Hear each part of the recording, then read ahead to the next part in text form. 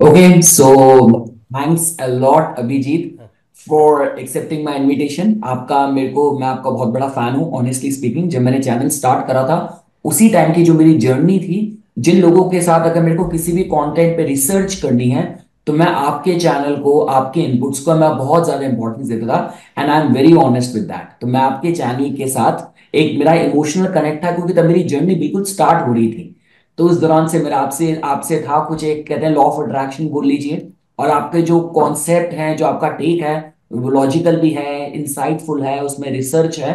तो जिसकी वजह से और बस एक रैंडमली मुझे था कि मुझे कम्युनिटी के साथ एक हिस्सा बनना चाहिए और लोगों की फाइंडिंग्स प्रैक्टिकल फाइंडिंग्स क्या है उन तक पहुँचना चाहिए। तो सबसे पहला नाम आप ही का था जो मेरे ध्यान में था। मैंने आपको अ, मतलब आई मैसेज यू आपने रिस्पॉन्ड करा और फाइनली आज हम लोग मंच पे साथ हैं। नहीं, बहुत बहुत धन्यवाद और बाकी ऐसा नहीं है, क्योंकि हमने जो है मेरा विषय ज्योतिष का ज़रूर रहा है, पर हमारी दिलचस्पी हस्तरेखा विज्ञान में बहुत रही ख़ास तौर से शुरुआती दिनों में। तो उसमें जो है, जब हमने अपना चैनल शुरू किया था, लगभग उसी के आसपास आपका चैनल हमने देखा। और इसमें एक ख़ास बात हमने जो आपके गौर करी, वो ये कि आप थोड़ा जो है जिस मतलब क्योंकि हम तर्क पसंद व्यक्ति हैं तो हमारा एक जो एक एटीट्यूड है वो यही है कि कम से कम एक लॉजिक हमको मिले कि कोई चीज़ अगर काम कर रही हो तो उसके पीछे कोई ना कोई कारण होना चाहिए। तो अब अक्सर बहुत सारे वीडियोस लोगों को मिलेंगे हस्तरेखा के ऊपर पर उसमें जो है एक होता है कि जनरिक डिस्क्रिप्शन दे दिया जाता है कि इस तरीके की रेखा है तो इस तरीके के परिणाम आप देख पाओगे। बट उसके पीछे तर्क क्या है कि अगर ये रेखा है तो उसमें जैसे कुछ एक मैंने आपके वीडियोस देखे उसमें आपने जो है वो भी कनेक्ट करा कि अगर कोई रेखाएँ एक, एक जगह से दूसरी जगह जाती हैं तो कुंडली में इन दो ग्रहों का भी हो सकता है योग बनता हो। वो जो पक्ष है वो ये बहुत मुझे अच्छा लगा कि कम से कम हम उससे एक पॉइंट ये देख पाते हैं कि we can interrelate between horoscope and the palm itself जो कि बहुत कम लोग प्रैक्टिस करते हैं। तो that is why I like the lot of your videos and they are very genuine I appreciate a lot of effort हमारे जैसे लोगों को सीखने से आपको बहुत कुछ सीखने को मिला हमको। तो हम उसका जो है बहुत आपको हार्दिक धन्यवाद देते हैं बनाने के लिए। चलिए thank you sir thank you और अभिजीत जी मैं आपको इसके बाद सबसे पहले एक हम राउंड रखते हैं कि आपकी देखिए जब मैं इंट्रोडक्शन बोलता हूँ जर्नी बोलता हूँ उसमें आप कहीं से भी कुछ भी अपने बारे में बता सकते हैं हम्म, कि जैसे कुछ एक शॉर्ट में हमें आपके बारे में पता चले कि आप कौन है। क्योंकि देखिए मेरे को आपका नाम भी लिंक से पता चला मेरे को एस्ट्रो आइडेंटिफाई से और मैं आपको आइडेंटिफाई करता था। बाकी मेरे को कुछ नहीं पता। तो अगर हमारे जो म्यूचुअल बोथ क्योंकि मुझे लगता है आप भी ज़्यादा वीलॉगिंग पॉडकास्टिंग नहीं करते। मैं भी अपने कॉन्टेक्स्ट भी ज़्यादा रहता हूँ। तो अगर हमारी जनता हमारी पर्सनल स्पेस से थोड़ा जानना चाहे कि कौन है विजीत एस्ट्रो एस्ट्रोडिफाई के जो होस्ट हैं, कौन है तो अपने हिसाब से जो आपको इंक्लूड करना आप अपने बारे में बताइए। देखिए, हम साधारण मनुष्य हैं और क्या कहेंगे, बाकी जो है मेरा एक, मैं अगर अपने आप को देखूँ एक शब्दों में तो I treat myself as a learner मुझे अभी भी मेरा जिज्ञासा बहुत रहती है, कई विषयों में, सिर्फ़ ज्योतिष नहीं, हमारी व्यक्तिगत जिज्ञासा बहुत सारे विषयों में है, पढ़ते हैं, पीछे आप किताबों का ढेर देख रहे हैं, इसके अलावा भी बहुत सारे कमरों में और किताबें हैं।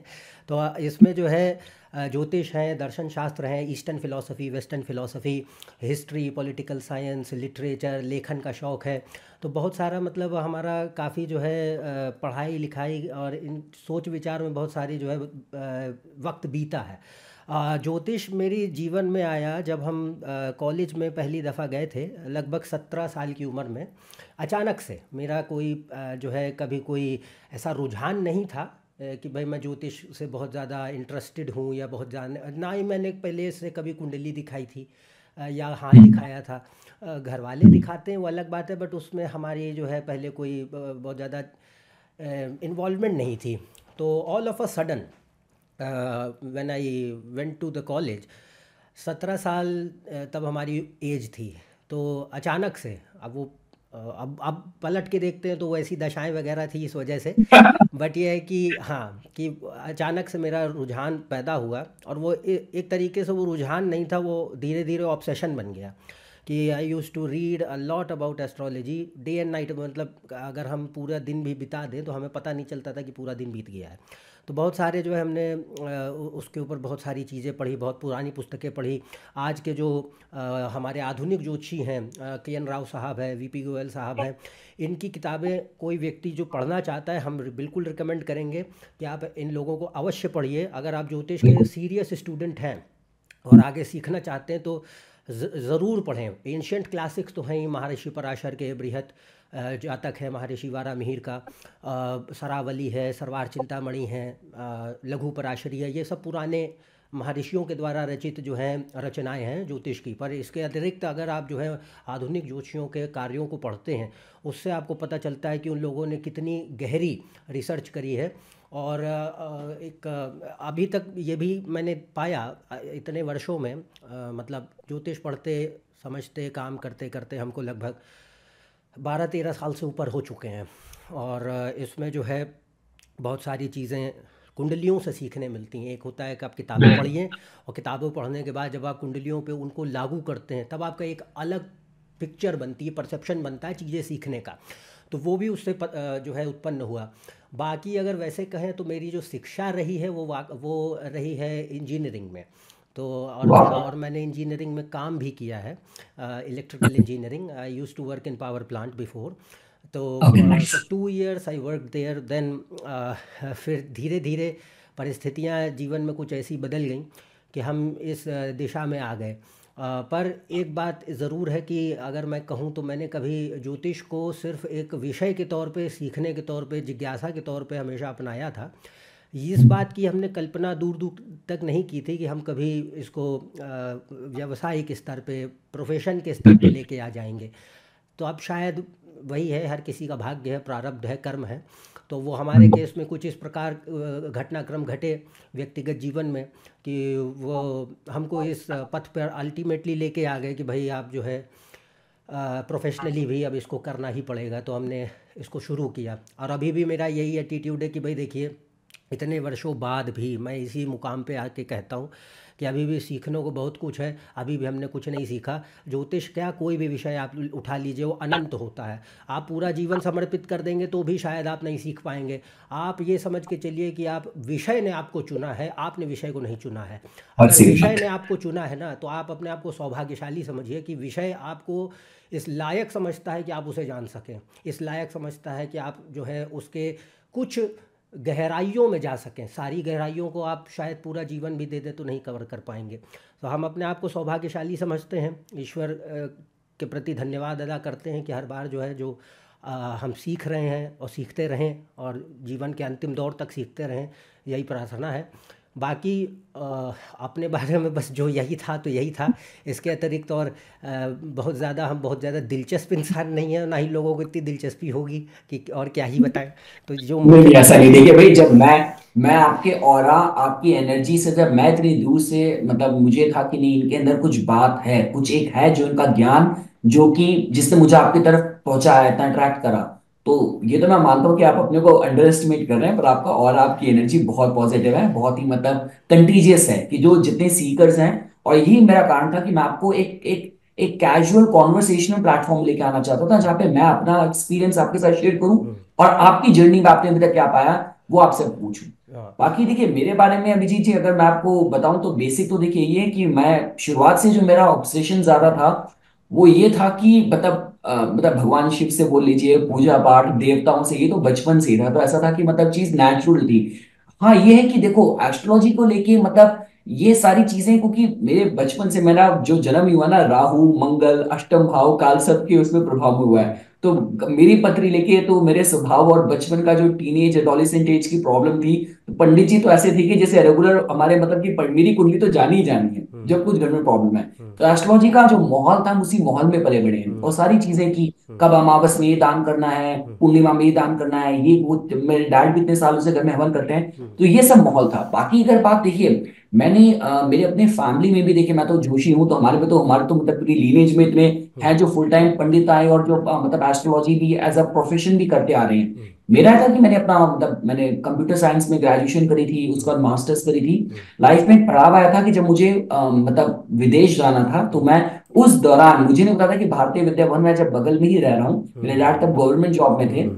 तो कि भारतीय विद्या भवन जैसा इतना बड़ा हब है क्योंकि देखिए एस्ट्रोलॉजी सुनने में जब तक अपना समय नहीं आता ना तो दूर से इतना कॉम्प्लिकेटेड साइंस करती है कि नहीं यार कैसे कोई कुंडली देख के सब कुछ प्रिडिक्ट कर सकता है सब कुछ कर सकता है? तो ऐसा कुछ नहीं था। तो मैं भारतीय विद्याभवन गया था फ्रेंच सीखने के लिए क्योंकि मेरा कनाडा का पीआर का होना था। वहाँ तो मुझे पता चला कि यहाँ पे तो दे मतलब यहाँ पे पामिस्ट्री के एस्ट्रोलॉजी कितने कोर्सेज भी हो रहे हैं। तो हम्म मैं गया वहाँ पे पामिस्ट्री फ्रेंच सीखने के लिए हम्म। और पामिस्ट्री फिर एस्ट्रोलॉजी कोर्स करते करते करते ये मेरी इनिशियल मेरी यात्रा रही। हम्म। उसके बाद कनाडा जाने के बाद भी एस्ट्रोलॉजी तो देखिए एक ऐसा पैशन है ऑब्सेशन है कि मैं कनाडा में भी था पर मेरा जो पूरा फुल टाइम जो अटेंशन थी इंटरेस्ट थी वो सारा मेरा एस्ट्रोलॉजी में ही था। हम्म। उसकी वजह से था मुझे चाहे कोई भी जॉब करनी पड़े जैसा भी करना पड़े पर मैं जो जो मेरी अ, मेरी प्रायोरिटी है इसमें नॉलेज एक्विजिशन की और इसमें अपना टाइम देने की मतलब इनपुट्स देने की मैं उसमें कॉम्प्रोमाइज ना करूँ। हम्म। साथ साथ बीच में फ़िल्म टेलीविज़न का कोर्स करा वहाँ पे एक हम्म। मूवी में काम करा हम्म। और जो ऑब्सेशन था वो वापस इंडिया ले आया और हम्म। अब यहाँ आने के बाद मेरा कोशिश पूरी यही है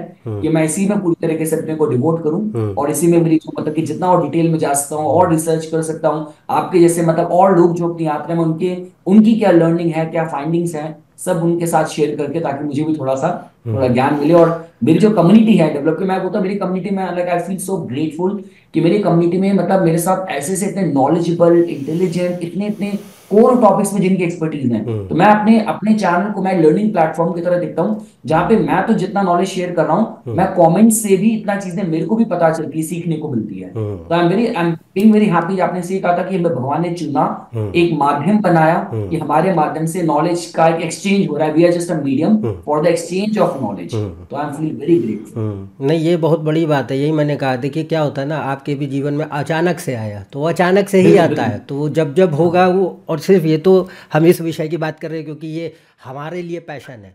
आप जो जो लोग भी इस चीज़ को सुन रहे हैं आपके लिए जो पैशन है ये भी समझ के चलिएगा कि वो कुदरत पहले से आपको तय करती है और वो आप जो भी कला है विषय है आपको वो बुलाता है। वो खुद अपने आप चल के आएगा। मतलब आप उस तरफ़ जाओगे तो वो हर व्यक्ति के साथ है वो जिस भी क्षेत्र में हो। बट ये जो एक होता है ना जिन व्यक्तियों को थोड़ी सी भी जिज्ञासा है पैशन है कोई भी चीज़ है they will be driven to those things हाँ मैं एक चीज़ ज़रूर कहता हूँ हम कि भाई इस मामले में हम सौभाग्यशाली समझते हैं खुद को कि भाई जो हमारा पैशन था वो हमारा पेशा बन गया। बिल्कुल बिल्कुल हाँ। पर अब जो लोग मान लीजिए आपका पैशन कुछ भी हो पर आपका पेशा कुछ और है तो हम फिर भी आपसे ये आग्रह करते हैं कि अपना पैशन मत छोड़िए क्योंकि वो आपको वो आपको वो खुशी देता है वो ज़िंदगी देता है वो ज़िंदगी में अर्थ देता है जो शायद आपका पेशा आपको ना दे सके। तो हम ये कहेंगे कि देखिए पेशा आवश्यक है इस वजह के लिए कि भाई आप भाई धन की ज़रूरत होती है तो कई बार हो सकता है कि आप दूसरे मार्गों से धन कमाएँ। पर जो चीज़ जो आपको अंदर से बहुत पसंद है खुशी देती है संतुष्टि देती है। आप उससे जुड़ करके अपने आप में आनंदित महसूस करते हैं। उसको कभी मत छोड़िए। तो I always say to people कि भाई हॉबीज़ एंड पैशन वो आप ज़रूर परस्यू करो, भले ही पेशा कुछ और हो। तो career is separate and if both are same then you are really lucky person lucky person बिल्कुल बिल्कुल।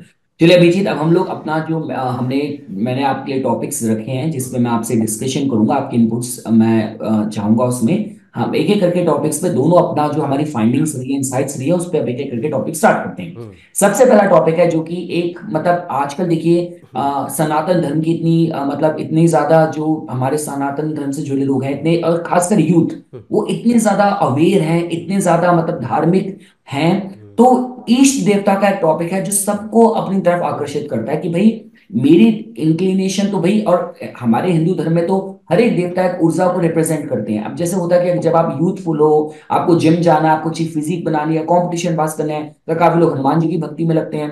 काफ़ी बार जब लाइफ में सैडनेस डिप्रेशन आती है तो शिव जी अपनी तरफ़ अट्रैक्ट करते हैं। जिसको विद्या अर्जन करना है उसको गणेश जी अपनी तरफ़ आकर्षित करते हैं। तो मेरे से काफ़ी बार क्लाइंट से पूछते हैं कि भाई मेरी कुंडली क्या बोलती है? अगर मेरे को अपने जीवन की एक प्रगति चाहिए तो कौन सा देवता है जो मेरी कुंडली के माध्यम से मेरा पाथ मेरी जर्नी जो है सुगम कर सकते हैं फास्ट पेस कर सकते हैं? हाँ।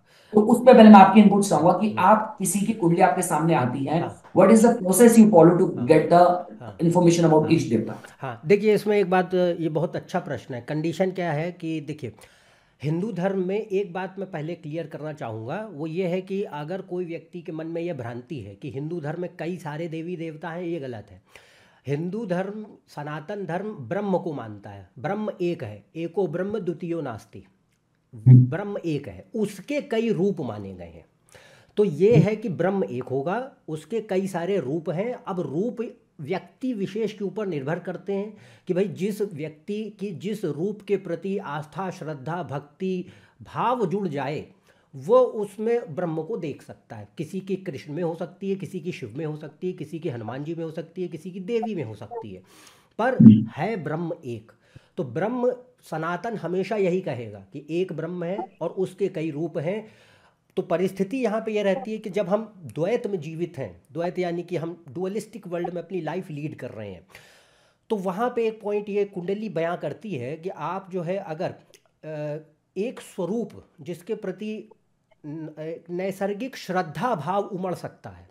क्योंकि हम्म। देखिए क्या होता है ब्रह्म को हर व्यक्ति समझ पाए। ब्रह्म होता है non dual pure existence consciousness bliss which is beyond space time and causation तो शुद्ध सच्चिदानंद स्वरूप जो कोई एक है अनंत है अद्वैत है और देश काल निमित्त के परे है अब इस चीज़ को समझ पाना हर व्यक्ति के सामर्थ्य के परे होता है। हर सामान्य व्यक्ति इस चीज़ को नहीं समझ सकता। अगर समझ भी जाए तो उससे रिलेट कर पाना बहुत कठिन होता है कि हम प्योर कॉन्शियसनेस वननेस की बात कर रहे हैं। जो लोग कर सकते हैं, अलग बात है, पर जो लोग नहीं कर सकते, दूसरी बात होता है कि भाव उमड़े तो वो एक स्वरूप चाहिए। You need a particular form of God तो वो फॉर्म ऑफ़ गॉड जो होता है, वो कुंडली भी दिखाती है, क्योंकि अब जैसे कुंडली बता रही है कि कैसे कई लोग हमारे केसेस आते हैं। जिसमें मैं इष्ट देवता नहीं भी पूछता हूँ बताते नहीं है वो खुद ही बोलते हैं कि भाई हमारी जो है ये भगवान कृष्ण में बहुत आस्था है। अब वो कुंडली दिखाएगी उनकी? कि भाई इस रूप में ही क्यों आस्था है? किसी कोई कहेगा हनुमान जी में बड़ी आस्था है। उनकी कुंडली दिखाएगी मंगल शनि का प्रभाव होगा हनुमान जी आएँगे। चंद्रमा और गुरु और बुद्ध का इकट्ठे प्रभाव होगा भगवान कृष्ण आ जाएँगे विष्णु। तो अब। ये बात रहती है कि आपको कुंडली में ये भी देखना पड़ता है कि भाई पहली बात तो व्यक्ति धार्मिक कितना है, है? कि हर व्यक्ति धार्मिक हो अध्या और बहुत ज़्यादा ईश्वर के प्रति भक्ति भाव रखे, आस्था रखे ज़रूरी नहीं है। बहुत सारे लोग तार्किक भी होते हैं, बहुत ज़्यादा धार्मिक आस्था नहीं भी रखते हैं। पर जो लोग नहीं भी रखते हैं, फिर भी एक बात ये होती कि देखिए, अगर आप फिलॉसफी को पढ़ रहे हैं अल्टीमेट गोल है अपने आप को समझो, ईश्वर को समझो, अखंडता, अखंड सत्य को समझो, यही गोल है। अब पॉइंट ये होता है कि जो ईजी वे है, वो है ईश्वर के प्रति भक्ति भाव पैदा करके। भाई कलयुग में सबसे आसान यही कहा गया है कलयुग केवल नाम आधारा नाम ले लो यही बहुत बड़ी बात है क्योंकि ज्ञान तो प्राप्त करना कलयुग में अत्यंत दुष्कर है। तो परिस्थिति ये रहती है कि यहाँ पे ईश्वर ही तुम्हारे लिए वो सहायता पैदा करे ऐसे वातावरण निर्मित करे ताकि आप उस तक जुड़ सको। तो उसके लिए कुंडली में इष्ट देवता माने गए। अब इष्ट देवता जो होते हैं कुंडली टू कुंडली वेरी करते हैं। अब उसमें पॉइंट ये होगा कि जो भी स्वरूप इष्ट देवता का है वह जो है उसकी पूजा पाठ अल्टीमेटली पूजा ब्रह्म की ही कर रहे हो, पर उस स्वरूप में कर रहे हो। तो उस स्वरूप में क्या होगा? एक तो नैसर्गिक भक्ति पैदा होती है। दूसरा, एक विश्वास पैदा होता है समय के साथ। आप कितने ही तार्किक इंसान क्यों ना हो no matter how logical scientific rational you are आपके पास सारे प्रश्नों के उत्तर कभी नहीं मिलेंगे। तर्क से ईश्वर को समझा नहीं जा सकता। एक पॉइंट पे आप को जाना ही होगा तर्क के परे। तो वहाँ पे जो है जब तक ईश्वर स्वयं आपको मार्ग न दिखाएँ कृपा न करें तब तक आप पहुँच नहीं सकते। तो परिस्थिति ये रहती है कि यहाँ पे ये बात कही गई कि आप जो है इष्ट देवता को ज़रूर उनकी पूजा पाठ करें। तो कंडीशन ये रहती है कि भाई इष्ट देवता वेरी करते कुंडली के मुताबिक। अब इनके लिए देखा कैसे जाता है? देखा जाता है लग्न कुंडली को नवांश कुंडली को और विमशांश कुंडली को। तीन कुंडलियों को D one D nine D twenty अब इसमें जो है तीन कुंडलियों में सबसे पहले जो देखा जाता है वो है पांचवा भाव नवा भाव।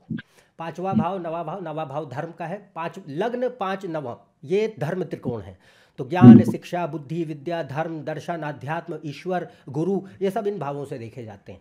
तो अब इसमें जो है तीनों कुंडलियों में आप पहले पाँचवें और नवे भाव को देखेंगे और दूसरी उनके स्वामियों को देखेंगे और तीसरा होगा कि आत्मा कारक जो है कुंडली में आत्मा कारक वो ग्रह होता है जिसकी डिग्री सबसे ज़्यादा होगी कुंडली में। आत्मा कारक जो भी है उस वो उससे बारहवें स्थान पे नवांश कुंडली में जो, ग्रह प्रभाव दे रहे होंगे। मान लीजिए आपका आत्मा कारक शनि है और शनि जो है नवांश कुंडली में मीन राशि में बैठा है तो मीन राशि से पिछला भाव बारहवां स्थान मतलब कुंभ राशि तो कुंभ राशि में अगर कोई ग्रह बैठे हैं तो उनसे संबंधित इष्ट देवता हो सकते हैं। और अगर कोई ग्रह नहीं बैठे हैं तो कोई भाव कोई ग्रह उसको अगर देख रहा है तो उससे संबंधित हो सकते हैं। और अगर ना तो कोई ग्रह बैठा हो ना ही कोई देख रहा है तो उसके स्वामी को ले लोगे। तो ये एक कॉन्सेप्ट है। हाँ मुझे लगा विजय जी कि आप बोलने वाले कि जो हाईएस्ट डिग्री का ग्रह है आप उसको नवांश में देखिए। मुझे लगा करा काम सा चाट मारे पर आपने बहुत अच्छा कॉन्सेप्ट बताया। हाँ। आपने तो बहुत अच्छा कॉन्सेप्ट हाँ। मेरे ये मेरे ऑडियंस को भी शायद नहीं पता होगा। वेरी नाइस तो नवांश से क्या होगा? नवांश से बारहवें स्थान पे। क्योंकि देखो बारहवा बारहवें का भी लॉजिक है क्योंकि आत्मा कारक क्या है? आत्मा कारक होता है भाई वो ग्रह जो आपके भीतर कॉन्शियसनेस को अलाइव रखे हुए हैं। आत्मा का मतलब क्या? शुद्ध चेतना जिसकी बदौलत हम जीवित हैं। तो आत्मा कौन आत, और बारहवां स्थान क्या है? बारहवां स्थान होता है ध्यान समाधि तपस्या है? तो ईश्वर का मूल तत्व कौन है? बारहवां स्थान है। तो बारहवां स्थान जो है मोक्ष प्रदायक माना गया। बारहवां स्थान मोक्ष प्रदायक है। तो आप यहाँ से आत्मा ये कि जो जो ग्रह आत्मा को कंट्रोल कर रहा है कुंडली में आत्मा कारक बना हुआ है, उससे बारहवें स्थान पे हम देखेंगे कि हम कहाँ से आए हैं। कौन से, कौन सा देवी देवता हमको मोक्ष के नज़दीक ले जा सकता है? कौन हमको वहाँ तक पहुँचा सकता है? तो यहाँ पे कंडीशन ये आती है कि बारहवें स्थान को देखिए आत्मा कारक में। अगला आता है वह पता है आपने आपका लॉजिक मेरी कुंडली में इतना अच्छा बैठ रहा है क्योंकि मेरा जो आपने आत्मा कारक नवांशा में जो से बारहवा भाव है हाँ वो मेरी लगन कुंडली का पांचवा भाव बन रहा है। तो मेरे में तो बिल्कुल फिट बैठ रहा है। हाँ वो बनेगा। अब मान लो कि जो है जितने और एक खास बात और जितने पांचवे नवे भाव और गुरु पांचवे नवे भाव और बृहस्पति और लग्नेश ये चार जितने ज़्यादा ताकतवर होंगे उतना ज़्यादा धार्मिकता आध्यात्मिकता बढ़ती है इंसान में। अच्छा इसके अलावा आप विमशांश कुंडली देखिए क्योंकि विमशांश डी ट्वेंटी जिसको कहते हैं वो खास तौर से आध्यात्मिक धार्मिक जीवन के लिए ही देखा जाता है कि भाई ज्ञान मार्ग भक्ति मार्ग राजमार्ग योग या मतलब योग ध्यान वाला ध्यान वाला पथ या फिर भक्ति मार्ग कौन से पथ अच्छे होंगे व्यक्ति आध्यात्मिकता में जा भी पाएगा नहीं जा पाएगा रुझान होगा नहीं होगा ये सब विमशांश दिखाता है। अब विमशांश में स्पेसिफिकली दो चीज़ें एक होता है विमशांश में लग्न की डीटीज मानी गई हैं। उसकी बात नहीं कर रहे हैं लग्न की डीटीज मानी गई हैं। डीटी मतलब एक देव, देवता देवता मानी गए हैं। वो वो कॉन्सेप्ट यहाँ नहीं अपनाना है। आप उसको लगा सकते हैं। वो नहीं। वहाँ पे भी पाँचवें और नवे भाव को देखो और विमशांश में चाहे केंद्र में या त्रिकोण में या कहीं भी, अगर कोई ग्रह सबसे बलशाली है, सबसे ज़्यादा तक कोई उच्च का हो गया, कोई केंद्र में बढ़िया अपनी राशि में बैठ गया तो जो सबसे पावरफुल ग्रह होगा, विमशांश में no matter what whatever lord it is वो किसी भी भाव का स्वामी, उसे फ़र्क नहीं पड़ता। अगर वो सबसे ज़्यादा ताकतवर है तो उससे संबंधित जो देवी देवता होंगे, उसको जो है माना जाएगा इष्ट देवता। उसको इष्ट देवता माना जाएगा। तो अब इसमें क्या होता है कि आप देखो कैसे? पहले लग्न को देखो लग्न इष्ट देवता उतना नहीं बताता। लग्न ये बताता है कि पहले attitude towards religion spirituality and belief in God है या नहीं है? लग्न ये बताएगा। नवांश क्या बताएगा कि अच्छा चलो अगर अभी नहीं है तो क्या लेटर ऑन स्टेज में आ सकता है? तो नवांश बताएगा। अच्छा इसके अलावा नवांश ये भी बताएगा कि भाई जो हमने आपको कॉन्सेप्ट बोला आत्मा कारक से बारहवें स्थान पे जा करके देखने का उससे भी हमें एक पता चलेगा कि अच्छा एक इष्ट देवता ये हो सकते हैं। फिर आता है विमशांश। विमशांश में आपने जो निकाला उसमें पॉइंट आता है कि वहाँ से ये पता चला कि ये जो है ये आ, वो है। मतलब ये इष्ट देवता हो सकते हैं। अब यहाँ पे इष्ट देवता निकालने कैसे ग्रह को देखो। तो ग्रह जैसे इसमें हर ग्रह के एक एक देवी देवता संबोधित कर दिए गए। अगर सूर्य से शुरू करते हैं तो सूर्य जो है, सूर्य सबसे पहले दिखाते हैं शिव, भगवान शंकर। तो सूर्य जो है अगर बलशाली है जैसे जैसे मैंने पॉइंट्स बोले, चाहे नवांश में जो आपको रूल बताया और चाहे विमशांश में। अगर सूर्य सबसे बलशाली ग्रह बन गया तो सूर्य से जुड़ करके देखा जाता है भगवान शंकर। तो महाशिव तो भगवान शंकर सूर्य। इसके बाद आते हैं सूर्य से एक और आते हैं वो है भगवान राम। राम सूर्यवंशी थे और भगवान राम के केस में क्या है कि आपको गुरु का प्रभाव देखना होगा सूर्य गुरु इकट्ठे होंगे मान लो। तो फिर गुरु कौन है? विष्णु। गुरु है महाविष्णु। तो गुरु अगर है तो गुरु में विष्णु भी होंगे अगर सूर्य हो गए तो विष्णु का सूर्य अवतार भगवान राम। तो राम हो सकते हैं। तो राम और शंकर दोनों ये सूर्य से आते हैं। इसके बाद आते हैं चंद्रमा। चंद्रमा से कौन है? चंद्रमा से पहली बात तो शक्ति देवी देखी जाती है। चंद्रमा एक फीमेल प्लेनेट है। तो चंद्रमा से हम देवी देखते हो देवी में भी शांत रूप देखते हैं। तो देवी में क्या होता है? पार्वती हैं। देवी में भुवनेश्वरी हैं। चंद्रमा खास तौर से दश महाविद्याओं में चंद्रमा भुवनेश्वरी देवी का संबोधक माना गया है। उनका मंत्र होता है रीम केवल रीम बोला जाता है। तो भुवनेश्वरी हैं। इसके बाद आपका जो है चंद्रमा दिखाता है भगवान श्री कृष्ण। तो भगवान श्री कृष्ण में अगर बुद्ध गुरु और चंद्रमा इकट्ठे आ रहे हैं या इनका कोई भी कनेक्शन बन रहा है तो ये है विष्णु। विष्णु में कौन? चंद्रवंशी। चंद्रवंशी भगवान कृष्ण। तो यहाँ पे पॉइंट हुआ कि चंद्रमा अगर किसी का मान लीजिए बहुत बलवान है पाँचवें भाव में अच्छा बैठा है नवांश में अच्छा बैठा है विमशांश में अच्छा बैठा है तो नेचुरल इंक्लिनेशन आपका जो है ईश्वर में या तो देवी के प्रति जाएगा या भगवान कृष्ण के स्वरूपों के प्रति जाएगा। तो चंद्रमा उसको दिखाता है। अब चंद्रमा के बाद अगला नंबर मंगल। मंगल का आते हैं भगवान हनुमान और फिर भगवान कार्तिकेय। कार्तिक आ- हनुमान जी के में क्या है? मंगल का संबंध यदि अकेला भी मंगल है तो भी हनुमान जी दिखाएगा और शनि के साथ में तो भी हनुमान जी दिखाएगा राहु के साथ में तो भी हनुमान जी दिखाएगा पर राहु के साथ में देवी भी दिखा सकता है। तो अगर राहु केतु के साथ है मंगल तो इसमें क्या होगा? देवी देवी में जैसे बगुलामुखी है मंगल। बगुलामुखी देवी मंगल के अंदर। मतलब मंगल संबोधित करता है बगुलामुखी जी को। इसके अलावा सूर्य भी ऐसे ही सूर्य भी दिखाता है मातंगी। अगर हम बात करेंगे देवियों तो आपने इसमें अच्छा करा अभिजीत जी आप ना मतलब शक्तिज्म और वैष्णविज्म आप सारा मिला के बता रहे हैं तो बहुत अच्छा जो जो श्रद्धा है। क्योंकि भाई देखो जो आपकी जो श्रद्धा है। उस हिसाब से आप पूजा कर सकते हैं। पर कुंडली ये बताएगी देखो कई बार एक होता है ना फादर मदर एक होता है कि भाई देखो, ये माना गया कि भाई माता है और पिता है। अब आपके माता पिता होते हैं, आप आप किसी से किसी से कोई चीज़ आपको मांगनी होती है तो आपको पता है, यार मम्मी इजीली दे देंगी, पिताजी थोड़ा सा डांटेंगे इजीली नहीं देंगे। तो आप मम्मी से जा कर के बात करते हो कि यहाँ काम जल्दी बन जाएगा, ठीक है? तो ऐसे ही हम कुंडली से देखते हैं कि माँ का स्वरूप अच्छा है या पिता का स्वरूप अच्छा है। तो अब पिता का स्वरूप अच्छा है तो पिता का स्वरूप अच्छा है तो उसमें कौन होंगे? अब जैसे मान लो सूर्य है अब सूर्य में पिता हो गए भगवान शंकर और अगर माँ हो गई तो माँ हो गई मातंगी। है? ऐसे चंद्रमा है चंद्रमा में अगर जो है हमारे पिता रूप हो गए तो भगवान कृष्ण और अगर माँ रूप हो गई तो भुवनेश्वरी और पार्वती। ऐसे ही मंगल है मंगल में पिता रूप हो गए कौन? रुद्र। रुद्र। रुद्र ओरिजिनल रुद्र भी हैं जिनका मंत्र है ओम रुद्राय नमः भगवान शंकर के हम्म, रूपों में। और दूसरे रुद्र अवतार में भगवान हनुमान जी हैं? फिर भगवान कार्तिकेय ये हाँ। पुरुष रूप हो गए। माँ हो गई तो माँ बगुलामुखी फिर हाँ उसके बाद मंगल राहु का कनेक्शन होगा माँ छिन्नमस्ता हो गई। ये देखा जा सकता है। फिर मंगल का अगर शनि से जिसमें शनि बलशाली हो जाए माँ काली भी आ सकती हैं। तो मंगल शनि के मंगल में देखो ऐसी गॉडेसेस आएँगी जो फियर्स हैं जो थोड़ी उग्र देवियाँ हैं। मंगल उग्र ग्रह है। तो मंगल का अगर शनि राहु वगैरह से का कनेक्शन होगा तो वो कहीं ना कहीं अगर अगर माँ को दिखा रहा है मतलब माँ के जो है भक्ति को दिखा रहा है तो वो ऐसे रूपों को दिखाएगा जो थोड़ी उग्र देवियाँ हैं। बगुलामुखी माँ काली छिन्नमस्ता ऐसी देवियाँ।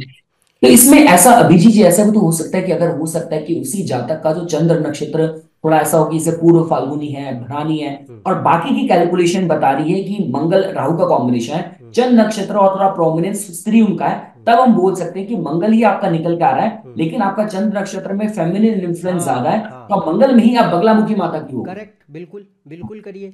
और और एक और चीज़ होती है कई बार होता है केस स्पेसिफिक इश्यूज़ होते हैं। मान लो जैसे किसी इंसान को प्रॉब्लम है कोर्ट कचहरी के बहुत लफड़े हैं या शत्रु बहुत परेशान करते हैं।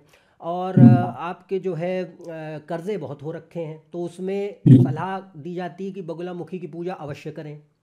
तो बिल्कुल बगलामुखी जी की पूजा के देखो एक चीज़ होती है कुछ देवी देवताओं की पूजा सरल है आसान है और कुछ देवी देवताओं की पूजा जो है वो थोड़ी सी नियम कायदे मांगती है कि भाई अगर आप वो नियम कायदे फॉलो नहीं करेंगे और ख़ास तौर से दश महाविद्याओं में दश महाविद्याओं की पूजा तभी करो जब सीरियसली कुछ कर पाओगे। अगर वो खाना पूरी फॉर्मेलिटी तरीके से करोगे तो बैकफायर करेंगी वो।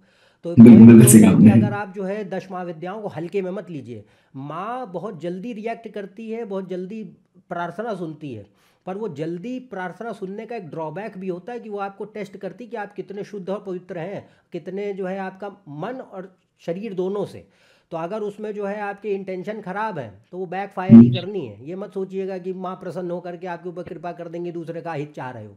ऐसा नहीं हो सकता तो परिस्थिति ये रहती है कि यहाँ पे इष्ट देवता मेल और फीमेल और उसमें जो है ये ये देवी। अब आते हैं मंगल के बाद कौन है? बुद्ध आते हैं। तो बुद्ध में कौन से होंगे? विष्णु। बुद्ध में विष्णु। दूसरे कौन होंगे? दुर्गा। माँ की अगर बात करोगे देवी की। माँ की देवी और हाँ होंगे भगवान गणेश। ठीक है? हाँ और माँ में दो होंगी। एक होंगी हम्म, एक होंगी दुर्गा एक होंगी सरस्वती। हम्म, हाँ तो सरस्वती बुद्धि की देवी है भगवान गणेश बुद्धि के देवता है। तो अगर मेल की बात करोगे? तो हो गए बुद्ध। और केतु भी भगवान गणेश को दिखाता है। केतु भी दिखाएगा हाँ केतु पे आएँगे। बट बुद्ध हाँ में क्या रहेगा? अगर मेल हो गए तो भगवान विष्णु नारायण स्वरूप हम्म, नारायण स्वरूप में प्योर मतलब एक्चुअल विष्णु महाविष्णु रूप में। फिर उसके बाद विष्णु भगवान के अलावा भगवान गणेश। फिर उसके बाद आते हैं बुद्ध में आपके देवी आएँगी तो माँ दुर्गा। और अगर दूसरी देवी होंगी माँ माँ सरस्वती। और एक और देवी होंगी वो होती है त्रिपुरा सुंदरी। वो आपने हाँ, वो दस महाविद्यालय त्रिपुरा सुंदरी षोडशी जिनको कहते हैं वो बुद्ध है। तो ये बुद्ध में इष्ट देवता। अगले बात आते हैं गुरु। गुरु में अगर पिता रूप में देखेंगे तो पिता रूप में कौन होंगे? सबसे पहले होंगे महाविष्णु भगवान विष्णु। हाँ तो महाविष्णु गुरु और बुद्ध दोनों के हैं दोनों के हैं। अच्छा गुरु के बाद गुरु में क्या है? गुरु में पिता में सिर्फ़ एक ही है। पिता में है सिर्फ़ बृहस्पति में सिर्फ़ गुरु मतलब भगवान विष्णु। बाकी और कोई मेल रूप में उतना नहीं आएगा। फीमेल में आएँगी तारा माँ तारा। तो माँ तारा। जो है वो फीमेल में आती हैं। अगला आता है गुरु के बाद हाँ शुक्र। शुक्र में आते हैं शुक्र देखो फिर से फेमिनिन प्लैनेट है तो ऑब्वियसली शुक्र में क्या होगा? पोटेंसी टुवर्ड्स फीमेल ज़्यादा होगी। ज़्यादा होगी हाँ तो जी अब यहाँ कंडीशन क्या है कि अगर हम बात करते हैं मेल की तो मेल में अगर देखेंगे तो शुक्र में आते हैं भगवान परशुराम। परशुराम जी हाँ। ठीक है? अगर हम वैसे देखें पर अगर हम शुक्र में देखा जाए तो शुक्र में मुख्य प्रधान रूप से देवी आती हैं देवी के सारे रूप आदि शक्ति तो आदि शक्ति शुक्र और चंद्रमा है। आदि शक्ति शुक्र और चंद्रमा है। अगर शुक्र में देवी के स्वरूपों की बात करेंगे तो जैसे दुर्गा है। दूसरा शुक्र में माँ लक्ष्मी है। लक्ष्मी। हाँ, माँ लक्ष्मी हैं। इसके अलावा शुक्र में जो है माँ पार्वती आती हैं तो दुर्गा लक्ष्मी पार्वती। ये देवी के स्वरूप हैं। साउथ इंडिया में जैसे ललिता दी सहस्त्र नाम लोग पढ़ते हैं ललिता देवी की पूजा होती है शुक्र। तो शुक्र शुक्र और बुद्ध का कॉम्बिनेशन है अगर तो ललिता सहस्त्र नाम रिकमेंड करते हैं। बड़ी बहुत अच्छा होता है कि पढ़िए आप उसे। इसके तो शुक्र के मुख्य प्रधान रूप से देवी। इसके बाद आते हैं शनि। शनि में मेल है। सबसे पहले अगर मेल रूप में हनुमान जी नंबर वन ठीक है? तो और दूसरा अगर है तो भगवान रुद्र और तीसरे अगर है तो कौन है? महाकाल काल भैरव रूप में। काल भैरव काल भैरव रूप में क्योंकि शनि काल को दिखाता है। तो काल भैरव रूप में उग्र तो शांत शंकर नहीं है शांत शंकर सूर्य है। उग्र में अगर है तो काल भैरव। तो काल भैरव और हनुमान जी हनुमान जी। हो गए। तो ये मेल। फीमेल में फीमेल में माँ काली। माँ काली। काली। तो इसका बेस्ट एग्जांपल श्री राम कृष्ण परमहंस महाकाली के माँ काली के आदि बहुत परम भक्त। काली की सिद्धि है। तो अब उनके केस में क्या कुंभ लग्न है? तो एग्ज़ाम्पल हाँ। कुंभ लग्न है। कुंभ लग्न में नवे लग्नेश कौन? शनि। नवे स्थान पे शनि उच्च का है। नवे का स्वामी शुक्र है। शुक्र क्या है? फीमेल गॉडेस शुक्र दूसरे स्थान पे उच्च का है। तो शुक्र क्या हो गया? आदि शक्ति माँ। शनि उच्च का हो गया मतलब माँ काली का रूप तो वो काली काली। के माँ परम भक्त और काली की सिद्धि साक्षात दर्शन। तो ये कुंडली दिखा रही है ना? तो इसमें माँ काली। फिर आते हैं राहु। राहु में आते हैं राहु में मेन होते हैं। राहु में भी क्या होगा? राहु में जो है फ़ी, फीमेल प्रधान ज़्यादा हो जाएगा। मेल जो है कम है। केतु में मेल होगा राहु में फीमेल होता है। तो राहु में क्या होगा? अगर हम भगवानों की बात करें तो राहु में अगर मेल रखोगे तो भगवान शंकर। ठीक है? अगर आप मेल ले रहे हो तो उसमें भगवान शंकर जैसे राहु केतु होते हो तो महामृत्युंजय बोला जाता है करने के लिए। तो महामृत्युंजय इसीलिए, राहु केतु के लिए। तो अगर उनको देखोगे मेल में तो महाकाल है, भगवान शंकर है, मृत्युंजय मंत्र ज़रूर करें। और अगर जो है देवी है तो देवी में राहु दिखाएगा दो देवियों को, एक है दुर्गा और एक है छिन्नमस्ता। अब छिन्नमस्ता की पूजा हम अक्सर लोगों को नहीं कहते क्योंकि वो महाउग्र देवी हैं और दश महाविद्याओं में तांत्रिक देवी हैं। उनकी विधि विधान बहुत कठिन है। हर व्यक्ति को सलाह दी नहीं जाती। आप दुर्गा जी की पूजा करें और महामृत्युंजय का जाप करें, अगर राहु प्रधान है तो। क्योंकि राहु, केतु तंत्र के लिए बहुत अच्छे माने गए हैं, बट उसके लिए योग होते हैं। अगर योग नहीं है तो वो फिर दिक्कत कर सकते हैं। तो पहला ये हो गया कि ये राहु, आखिरी आता है केतु। केतु में देखेंगे तो केतु में हर वो भगवान जिसका सर नहीं है। हर वो केतु के, के, केतु का सर नहीं है धड़ है। धड़ मनुष्य का है सर किसी जानवर का है पशु का है। तो उसमें क्या हो गया? भगवान हनुमान जी वानर मुख है।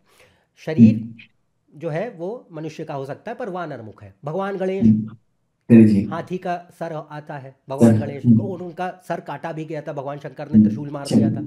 अश्विनी कुमार से जितने देवता हैं। अश्वनी कुमार हैं। केतु अब हम्म, अश्विनी कुमार पहला अश्विनी नक्षत्र के कंट्रोलर भी केतु है उनके देव देवता भी अश्विनी कुमार है। अश्विनी कुमार है तो हम ये कहते हैं जिनका धड़ नहीं जिनका धड़ है सर नहीं है मनुष्य का वो सारे देवी हम्म, देवता जो है वो इसमें आ जाएँगे केतु के अंडर में।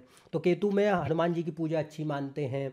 इसके अलावा अश्विनी कुमारों की अच्छी मानते हैं। इसके अलावा, भगवान गणेश, सर्वश्रेष्ठ भगवान गणेश की पूजा उत्तम मानी जाती है। और बाकी, अगर राहु केतु, क्योंकि आमने सामने होते हैं तो मृत्युंजय। मृत्युंजय, राहु केतु के लिए रामबाण है, करना ही करना है।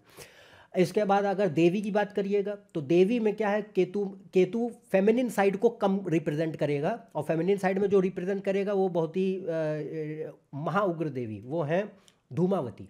धूमावती अब धूमावती की पूजा नहीं बताई जाती है। किसी गृहस्थ संसारिक जीवन वाले व्यक्ति की धीमा धूमावती की पूजा नहीं बताई जाती क्योंकि धूमावती तो ऐसी देवी है जो श्मशान को दिखाती है मृत्यु को दिखाती है संसार से विरक्ति वैराग्य को दिखाती है मोक्ष को दिखाती हैं। उनकी पूजा आपको मोक्ष तो मोक्ष संन्यास, विरक्ति, वैराग्य, आध्यात्म, ज्ञान सब दे देगी, पर आपका भौतिक पक्ष को ख़त्म कर देती है। तो इस वजह से केतु जो है, मोक्ष का कारक है तो धूमावती उसको दिखाएँगी, अगर देवियों की बात करोगे। बाकी पुरुष स्वरूप ज़्यादा है तो भगवान गणेश सबसे बेस्ट है भगवान गणेश और भगवान हनुमान जी। तो ये ग्रहों के हिसाब से हम चलते हैं। अगर इन इन ग्रहों का प्रभाव जिनका ज़्यादा होगा, और ये मिल करके भी अगर कॉम्बिनेशन बना रहे हैं तो उसमें देखो कि कौन सबसे ज़्यादा ताकतवर है। मान लो दो ग्रह इकट्ठे बैठे तो अब जैसे मैंने सूर्य और गुरु की बात करी थी तो अब जैसे सूर्य और गुरु इकट्ठे हैं तो सूर्य गुरु क्या दिखा सकते हैं? कि भाई या तो भगवान राम को भी दिखा सकते हैं और भगवान शंकर को भी दिखा सकते हैं। तो अब सूर्य गुरु में जो ज़्यादा ताकतवर हो जाएगा तो उसका पक्ष मान लो गुरु बढ़ गया बढ़ गया तो भगवान राम विष्णु आ जाएँगे। और अगर सूर्य बढ़ गया तो भगवान शंकर आ जाएँगे। तो ऐसा आपको देखना है मिला करके। तो ऐसे इष्ट देवता को आप देखें। पर इष्ट देवता पर फिर से मैंने कहा अगर उनकी नियमित रूप से आप पूजा पाठ करते हैं, मैं कई बार ये भी कहता हूँ कि देखिए, अगर आपको ये अच्छी बात है कि आप तर्कशील हैं। ये सोचते हैं कि भाई इसके पीछे कोई लॉजिक है कि नहीं, क्यों कर रहा हूँ आखिर? कोई मंत्र के पीछे सिग्निफिकेंस है कि नहीं? पूजा पाठ के पीछे कोई सिग्निफिकेंस है कि नहीं? भाई देखिए, अगर आप इस सोच के व्यक्ति हैं high I highly promote this kind of thinking which is more driven towards knowing the logic behind the things but अगर आप इस बेसिस पे खाली कुछ लोग करते हैं कि उनको जाँच कुछ नहीं करनी है, तर्क कुछ नहीं लगाना है, खाली दुनिया दिखावे में जो है, हम जो है रिजेक्ट करके बैठ गए अपने धर्म, संस्कृति अध्यात्म को। और ना इधर के रहे, ना उधर के रहे। आइडेंटिटी क्राइसिस का शिकार होकर बैठ गए। अगर ऐसे मनुष्य हैं, यदि आप तो भाई देखिए, ये खराब बात है। तो आप जो है, और कई बार ये भी होता है कि हम ये भी कहते देखो, पूजा करो बस चुपचाप। कई बार जो है लॉजिक नहीं पता चलता, ना पता चलने दो, आगे पता चल जाएगा। ईश्वर चाहेगा, बता देगा तुमको। पर हम ये कहते हैं कि भाई देखो, कष्ट तो जीवन में चल ही रहे हैं, इससे डिनाई नहीं कर सकते। प्रॉब्लम्स हो रहे हैं, इसी वजह से आप ज्योतिष में उत्तर खोज रहे हैं। अगर आप खोज रहे हैं तो भाई उसके निदान उपाय बताए गए। आप बताए गए तो उसे फॉलो कर लीजिए। डॉक्टर के पास आप जाते हैं, चुपचाप दवा देता है, आप लेके चले आते हैं उसको पचास क्वेश्चन नहीं पूछते हैं कि भाई तो ये क्यों कर रहे हो, वो क्यों कर रहे हो, इससे करेंगे तो क्या होगा? ये सब आप करते हैं क्या? आप डॉक्टर के ऊपर जा करके विश्वास करते हैं हाँ भाई इसने भाई डिग्री करी है, पढ़ा लिखा है, इतने साल जो है उसने अपनी मेहनत करी है तो कुछ उसका जो है हमको भाई हम यकीन कर सकते हैं कि हाँ ये हमको सही इलाज कर रहा होगा। दे ज्योतिष में भी वही है। आप चुपचाप करिए उसके लाभ आपको देखने मिलेंगे। और अगर आपको तर्क में जाना है तो किताबें पढ़िए। तब जा करके उत्तर मिलेंगे।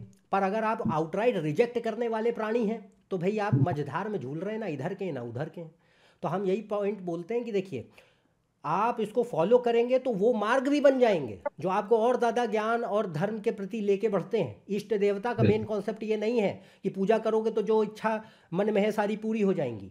वो ये प्रदान करता है कि ज्ञान ब्रह्म को तुम जान सको। Easiest way to know my easiest way to know that who I am I the ultimate reality and the acceptance of reality उसमें प्रमोट करता है वो।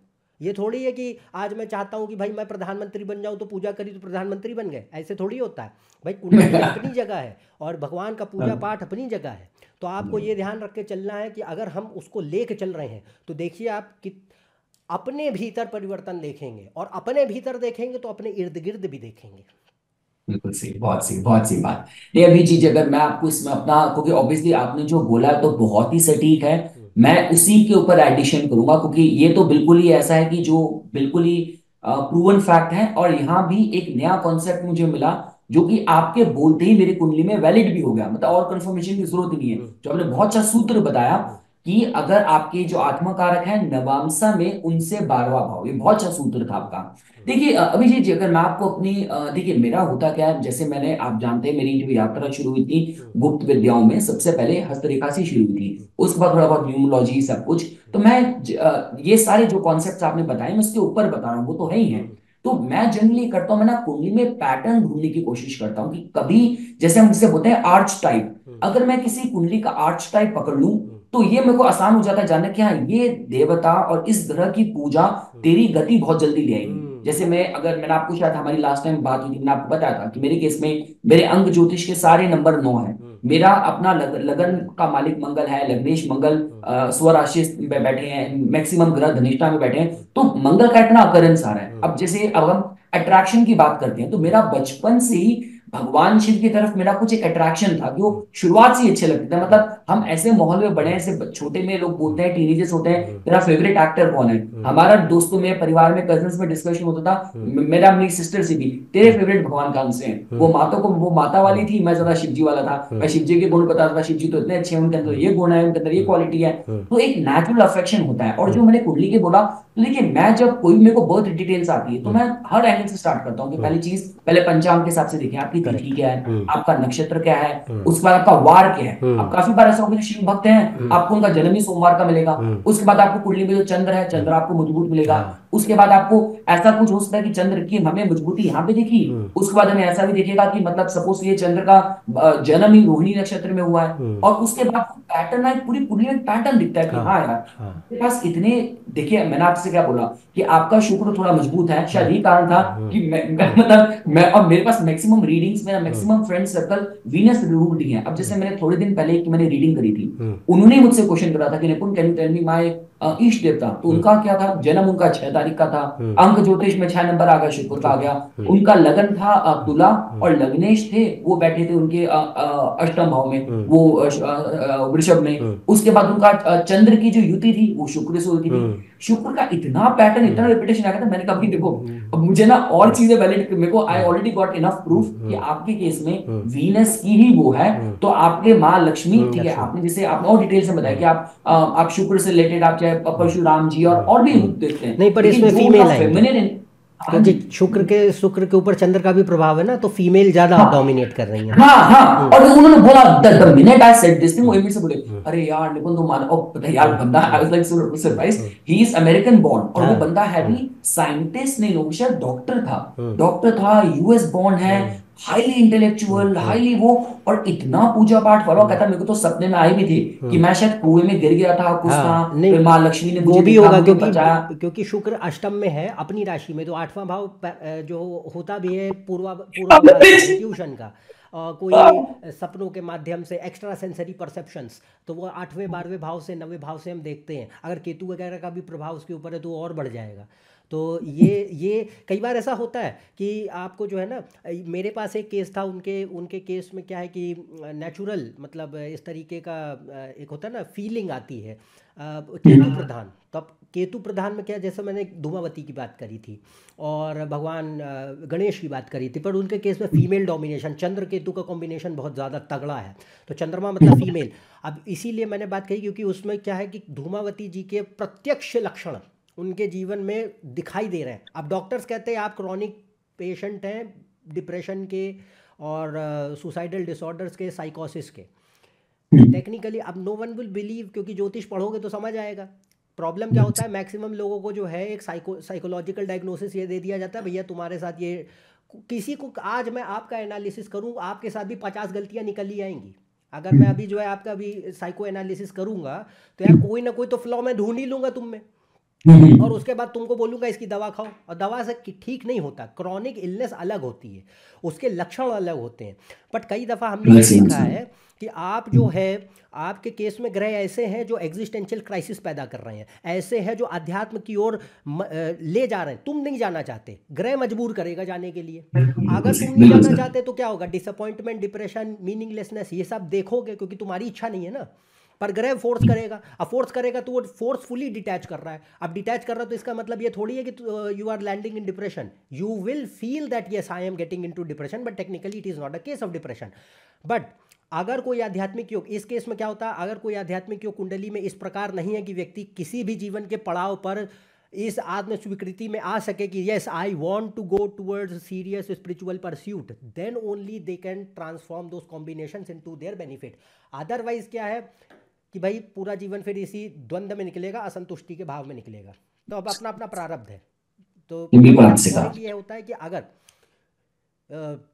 यहाँ पे जैसे आपने कहा देवी का पक्ष बढ़ गया तो देवी का पक्ष बढ़ गया तो मतलब क्या है? Natural hmm. और इसमें शुक्र क्योंकि लग्नेश है अष्टम है हम्म। तो वो अपने आप ही एक होता है ना लेके आएगा एक पड़ाव पे लेके आएगा कि कहीं ना कहीं कहीं ना कहीं कोई ना कोई ओमन्स कोई ना कोई एक होता है ना एक्सपीरियंसेस जो आप एक्सपीरियंसेस ड्रीम्स ये तो पता है आप दिखा लीजिए कितना देखिए ये तो वैसे तो विश्व भर में होता है पर मैंने सदन पार्ट में मैंने बहुत सुना है यहाँ पे भी जैसे मेहंदीपुर बालाजी हनुमान जी की जो हाँ, मूर्ति थी हाँ, हाँ। वो जो पुरोहित थे उनका स्वप्न में कि मेरी मूर्ति यहाँ पे आप यहाँ पे जाओ यहाँ पे जाके आप खुदाई करो यहाँ पे आपको मेरी मूर्ति मिलेगी तो ये तो होता ही है कि और जैसे मैंने आपसे बात की जब हम ईष्ट देव की बात करते हैं ना वो इन वो एक अट्रैक्शन एक अफेक्शन होता है उससे अंदर से उमड़ता है हम्म। तो वो तो मतलब उसकी तो कोई मतलब चलिए अच्छा ये इसमें अभिजीत जी अब मैं आपको लेके चलता हूँ दूसरे टॉपिक पे क्योंकि मेरे को आपसे हाँ अब जो मैंने आपसे दूसरा क्वेश्चन पूछना है हम्म। वो ये है कि अब हम आते हैं चीफ कंसर्न जिसके कोई भी परिवार एस्ट्रोलॉजर के पास जाता है मतलब लाइफ में जो दो तीन पड़ाव होते हैं ना हम्म। तो जन्म में वो देखना होता है कि बाल योग तो नहीं है दूसरा आता है विवाह का। तो आज के समय में 2024 में मैच। मेकिंग की रियलिटी पे मैं आपके व्यू जानना चाहूँगा देखिए मैच मेकिंग के ऊपर मैंने ऑलरेडी एक वीडियो भी बनाया था विस्तार से ताकि लोगों की एक मिसकंसेप्शन जो है वो टूट सके। आ, जो लोग देखना चाहे देख सकते हैं आ, आप लिंक शेयर कीजिएगा। बट पॉइंट क्या है कि हम तीन चार संक्षिप्त रूप से आपको बता देते हैं कि पॉइंट होते क्या है and why match making is useless क्योंकि मैं पर्सनली मैच मेकिंग ना करता हूँ वेबसाइट पे भी लिख रखा है ये सब चीज़ों के लिए आप हमको संपर्क ना करें। स्थिति ये रहती है कि देखिए कंडीशन ये है कि मैच मेकिंग इस सेंस में एग्जिस्ट नहीं करती जिस सेंस में हम लेते हैं। मैच मेकिंग जो है वो अलग सेंस में एग्जिस्ट करती है। अब वो कैसे करती है? देखिए, कुछ बातें अब मैं बोलूँगा और उससे आप समझ जाएँगे कि मैच मेकिंग जो है क्यों यूजलेस है उस सेंस में जिस सेंस में हम समझते हैं।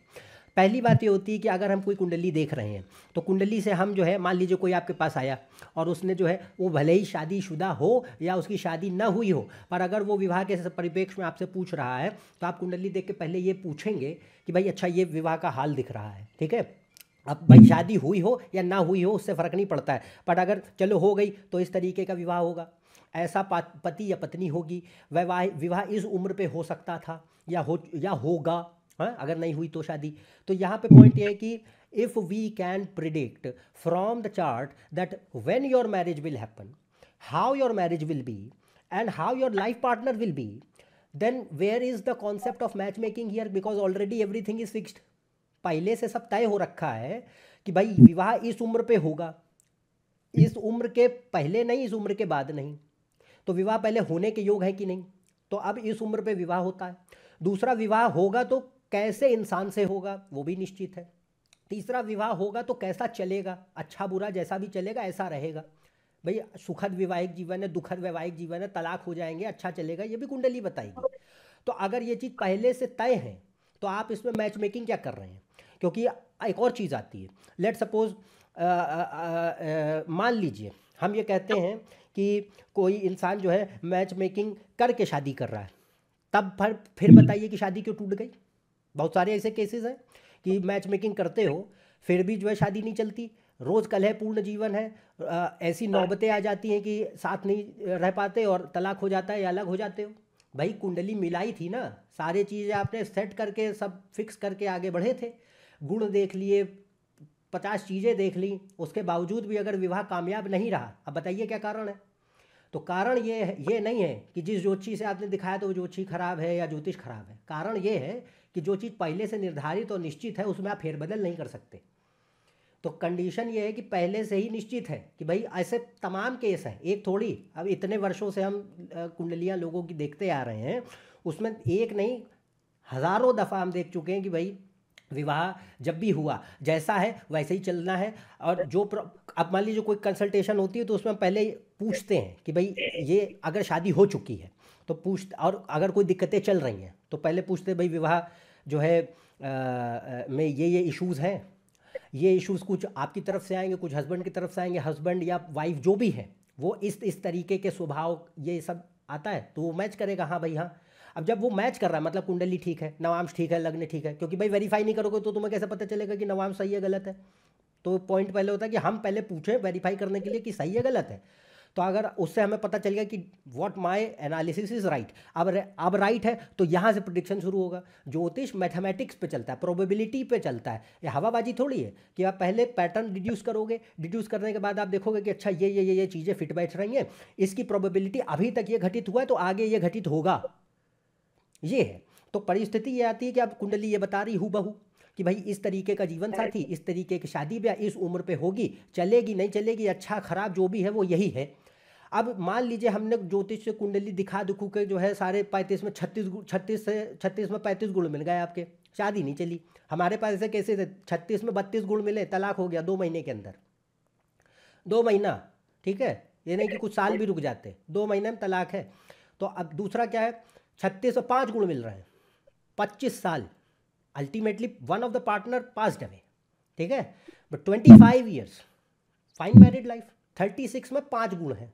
फाइव बच्चे भी हैं शादी ब्याह ठीक चल रहा है कोई दिक्कत नहीं।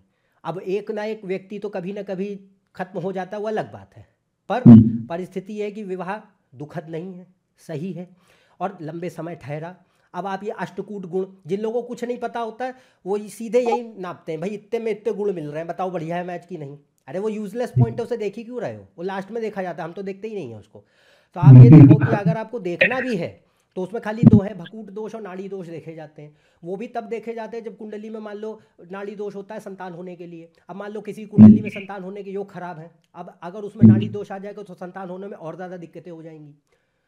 किसी के केस में भकूट दोष होता है सुख के लिए हैप्पीनेस म्यूचुअल अटैचमेंट अब मान लो चौथा भाव खराब है, सातवां भाव खराब है, शुक्र, चंद्रमा की स्थिति ठीक नहीं है।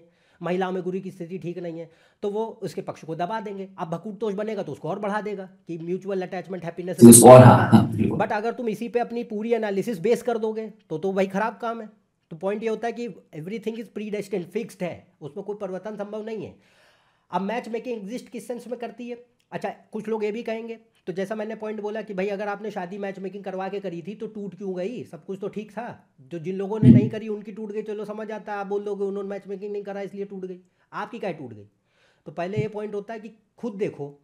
अच्छा दूसरा पॉइंट होगा कि मान लीजिए जो लोग की बहुत सारी रिलेशनशिप्स होती हैं ठीक है? तो उसमें आप कैसे डिफाइड करोगे कि भाई कौन सा पार्टनर कैसा रहेगा? हर आदमी एक set category of partner attract करता है। आपको भाई दुनिया में इस वक्त एट बिलियन पॉपुलेशन है।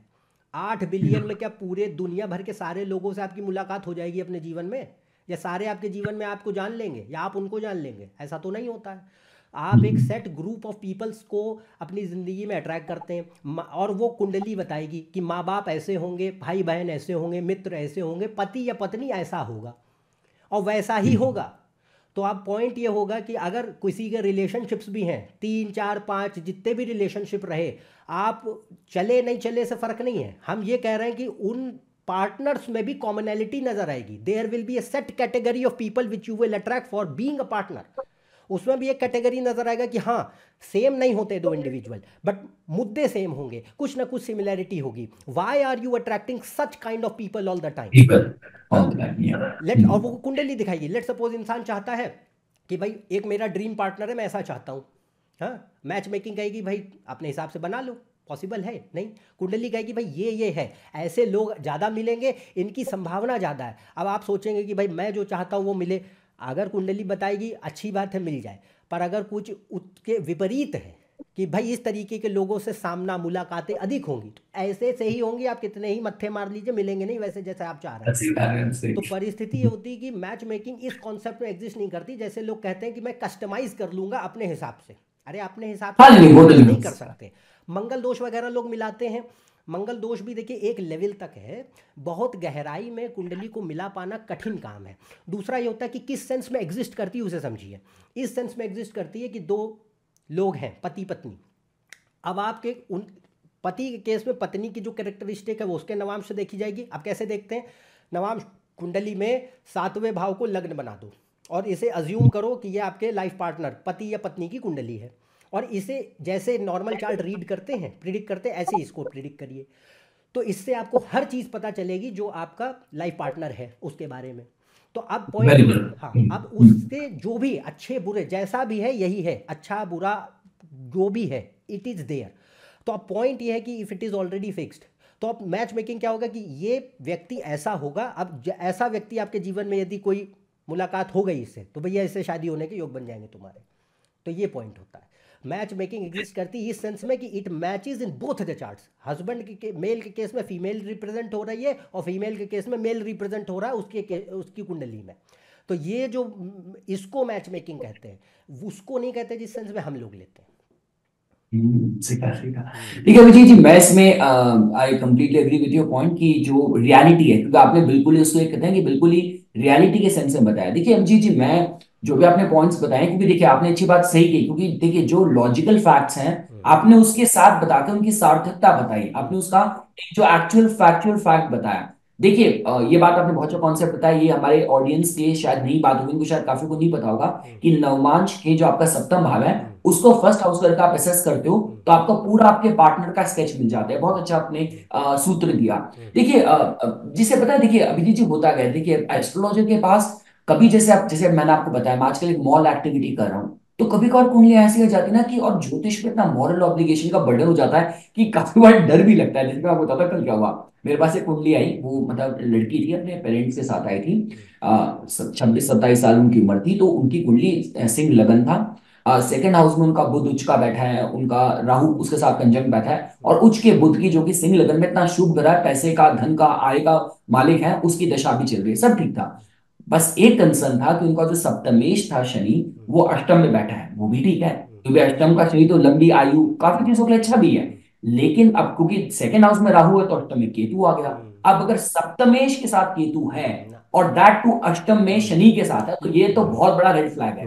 अब ये जब ऐसी कुंडली आती ना तो ज्योतिष तो मॉरल ऑब्लिगेशन बैठ जाता। और मेरे साथ मेरे फ्रेंड के साथ हुआ था। अब देखिए हमारे भारत में ना ये अभी भी मान्यता है कि विभाग के एक वर्ष के अंदर जो भी बड़े इवेंट होते हैं उसको कहीं ना कहीं जो आपके जीवन साथी है उसके साथ अटैच करा जाता है। मेरा बेस्ट था उसका विद इन मैरिज के तीन चार महीने नहीं उसके मेरे मतलब मेरे फ्रेंड के फादर की एक्सीडेंटल हम्म। डेथ हुई मतलब एक एक होता है कि हम्म। कोई मेडिकल कंडीशन एक्सीडेंट हम्म। अब जो ट्रेडिशनल माइंडसेट है वो फिर करेगा कि अब वैसे भाई हर किसी के अपने ग्रह होते हैं। अब वो तो पत्नी की कुंडली में पति का वो होना चाहिए बेटी की कुंडली में बाप का वो योग होना चाहिए लेकिन हर कोई अटैच कर इस पे करता है कि जो नए कदम घर पे पड़े हर कोई उसमें अटैच कर देता हाँ। तो यहाँ पे हम ज्योतिषों पर ना बहुत प्रेशर आता था कि यार हमें जो भी बोलना है तो क्योंकि वो बात लेके साइकोलॉजिकली लोग घर लेके जा रहे हैं हाँ। और वो देखिए आपने जो बात बोली वो बहुत ही एजुकेटेड लॉजिकल और बहुत ही एकेडमिक ड्रिवन लोगों के अंडरस्टैंडिंग का है पर हाँ। आज भी जो एस्ट्रोलॉजी में ना वो इतना उनको मतलब भगवान मान के लोग सुनने के लिए आते हैं हाँ। उन्हीं की इच्छा पे सब कुछ छोड़ देते हैं हाँ। तो बहुत ऑब्लिगेशन प्रेशर आ जाता है। देखिए मैं जो कॉन्सेप्ट फॉलो करता हूँ विजीत जी। मैं जनरली ये के एन राव सर की बुक में मैंने पढ़ा था उन्होंने बहुत अच्छा सूत्र बताया था हम्म। कि ठीक है आपने जो अष्टपूर्ण जो भी आपने गुण बोले हैं छत्तीस में से गुण वो सब देखना है। सप्तमेश देखना है लड़की की कुंडली में बृहस्पति देखना है लड़के की कुंडली में सप्तम भाव कितना अच्छा उसकी सस्टेन कर पाए मतलब आय से इनकम से वो सब देखना है। इसके साथ साथ के राव सर ने जो अपनी बुक में मेंशन करा था कि आपको ये भी देखना है कि दोनों का चलता समय कैसा हाँ, एक दूसरे के साथ रिस्पॉन्ड कर रहा है काफ़ी बार क्या हो जाता है ज्योतिष लोग ही देखते हैं कि भाई दोनों की कुंडली में मैच कितना है हाँ। सप्तम भाव कंपैटिबिलिटी एवरीथिंग दैट्स फाइन लेकिन आप ऐसा करो कि आपने आज आप एक दूसरे दो लोगों के जीवन एक हाँ। दूसरे से टकरा रहे हैं हाँ। अभी तो समय ठीक है हम्म। लेकिन within two next two years लड़की के लाइफ में बहुत बड़ा क्राइसिस लिखा है तो के एन राव सर ने बहुत अच्छा सूत्र बताया था। कि अगर उस समय लड़की के घर अच्छे चल रहे हैं तो शादी बच जाएगी। क्योंकि एक का बुरा समय दूसरे का अच्छा चलता समय करता है हाँ हम्म। लेकिन अगर दोनों ही एक साथ both are at the same time heading towards crisis तो फिर मुश्किल है तो यहाँ पे ये बात बहुत अच्छी आ जाती है कि आपने कुंडली देखी हम्म। आपने स्वभाव देखा आपने हम्म। सप्तमेश सब देखा पर आपने उनकी दशा छोड़ दी हाँ। वो सबसे बड़ा रोल प्ले करी हाँ। दशा में हाँ। आते समय में क्या दिख रहा है? क्राइसिस आता दिख रहा है? बिल्कुल बिल्कुल। समय दिख रहा है? और एक दूसरे को कैसे सपोर्ट करना हम्म, बिल्कुल कर, दशा अवश्य देखी जाती है। अच्छा एक बात और इससे याद आई। वो ये रहता है कि जब मान लीजिए किसी कुंडलियों में विवाह के अच्छे योग नहीं होते ना कि ऐसा योग आ रहा है। कि या तो साथ नहीं रह पाएँगे तलाक हो जाएगा या काफ़ी दुखद वैवाहिक जीवन होगा तो हम्म। आप ये गौर कीजिएगा हमेशा ये होगा कि हमेशा अशुभ दशाओं में शादी होगी। विभाग में सीखें ये मुझे आप बहुत से सूत्र बताए बहुत अच्छा अशुभ दशाओं में शादी होगी कभी भी शुभ दशा में हो ही नहीं सकती। होगी ही नहीं कितने हाथ पैर मार लो होगी ही नहीं। अगर खराब योग है विवाह के और ये सिर्फ़ विवाह के ऊपर नहीं है हर चीज़ के लिए हर चीज़ के लिए पर विवाह की बात हो रही है स्पेसिफिक तो हम ये कह रहे हैं अब संतान के ऊपर भी होता है। मान लीजिए संतान के योग अगर खराब हो रहे हैं तो संतान का जन्म अच्छी दशाओं में नहीं होगा। तो ये बात रहेगा कि वो उधर विश्ववा ऋषि ने नहीं उनके जो मतलब जब जैसे रावण का जन्म हुआ था या जब दुर्योधन का अलग अलग काल में हाँ। हाँ जब वहाँ महाभारत में दुर्योधन का जन्म हुआ था शायद मुझे आपने सूत्र बताया था? हम्म। उन्होंने तो बोला था कि इसको इसको तो ये तो पूरे कुल का वो नाम खराब करेगा इसको तुम सैक्रिफाइस कर दो। पर वो पुत्र प्रेम था तो नहीं माने। ये हाँ। चीज़ें जब विश्ववा ऋषि को भी मतलब जब रावण का जन्म हुआ था उनको पता था। हाँ। एक एक करके जब सारे भाई जब विभीषण का आया बारी उनके सामने आया उन्होंने कहा ये अपने भाई का पूरे पूरे किंगडम को उसके रिस्पॉन्सिबल होगा। तो ये तो आपने सही कहा कि जी आपने बहुत तभी हमारे हमारे जो हमारे मतलब सनातन धर्म में मुहूर्त शास्त्र पे इतना ज़ोर दिया बहुत ज़्यादा बहुत ज़्यादा। अगर हम कोई शुभ काम करते हैं तो अब कई बार ऐसा होता है। अब ये भी बहुत बार हमने कहा है कि देखिए ये कई बार हमने सलाह दी है लोगों को कुंडलियों जैसे क्या है कि कोई लोगों की शादी लगभग तय हो गई है। अब वो पूछ रहे हैं कि भाई कौन सा अच्छा समय है। अब मान लीजिए समय थोड़ा छः महीने, सात महीने बाद आ रहा है बट वो ये चाहते हैं कि अभी एक दो महीने में ही, क्योंकि बात तय हो रखी है जल्दी हो जाए। अगर भाई दशा है तो अच्छी दशा है तो हम बोलते हैं कि आप करिए। कई और अगर नहीं होती तो ये बोल देते हैं कि भाई देखो ये दशा दे तो देगी शादी बट ये अशुभ है तो उसके रिपरकशंस आपको देखने मिलते हैं। तो इसलिए ये बहुत ज़रूरी पॉइंट आपने कहा है कि भाई दशा को ज़रूर देखो क्योंकि जो आने वाला गत वैवाहिक जीवन है तुम्हारा वो तो उन्हीं दशाओं में बीतेगा। हाँ दोनों एक दूसरे के साथ कैसे कोरिलेट करने? हाँ वो कैसे चलेगा? तो जब आपका विवाह हो जाता है तो अब आपके एक दूसरे के जो कॉम्बिनेशन हैं वो जुड़ रहे हैं। आपके उनको इम्पैक्ट करेंगे, उनके आपको इम्पैक्ट करेंगे। तो इसी वजह से विवाह बहुत ही मतलब क्लोज बॉन्ड है।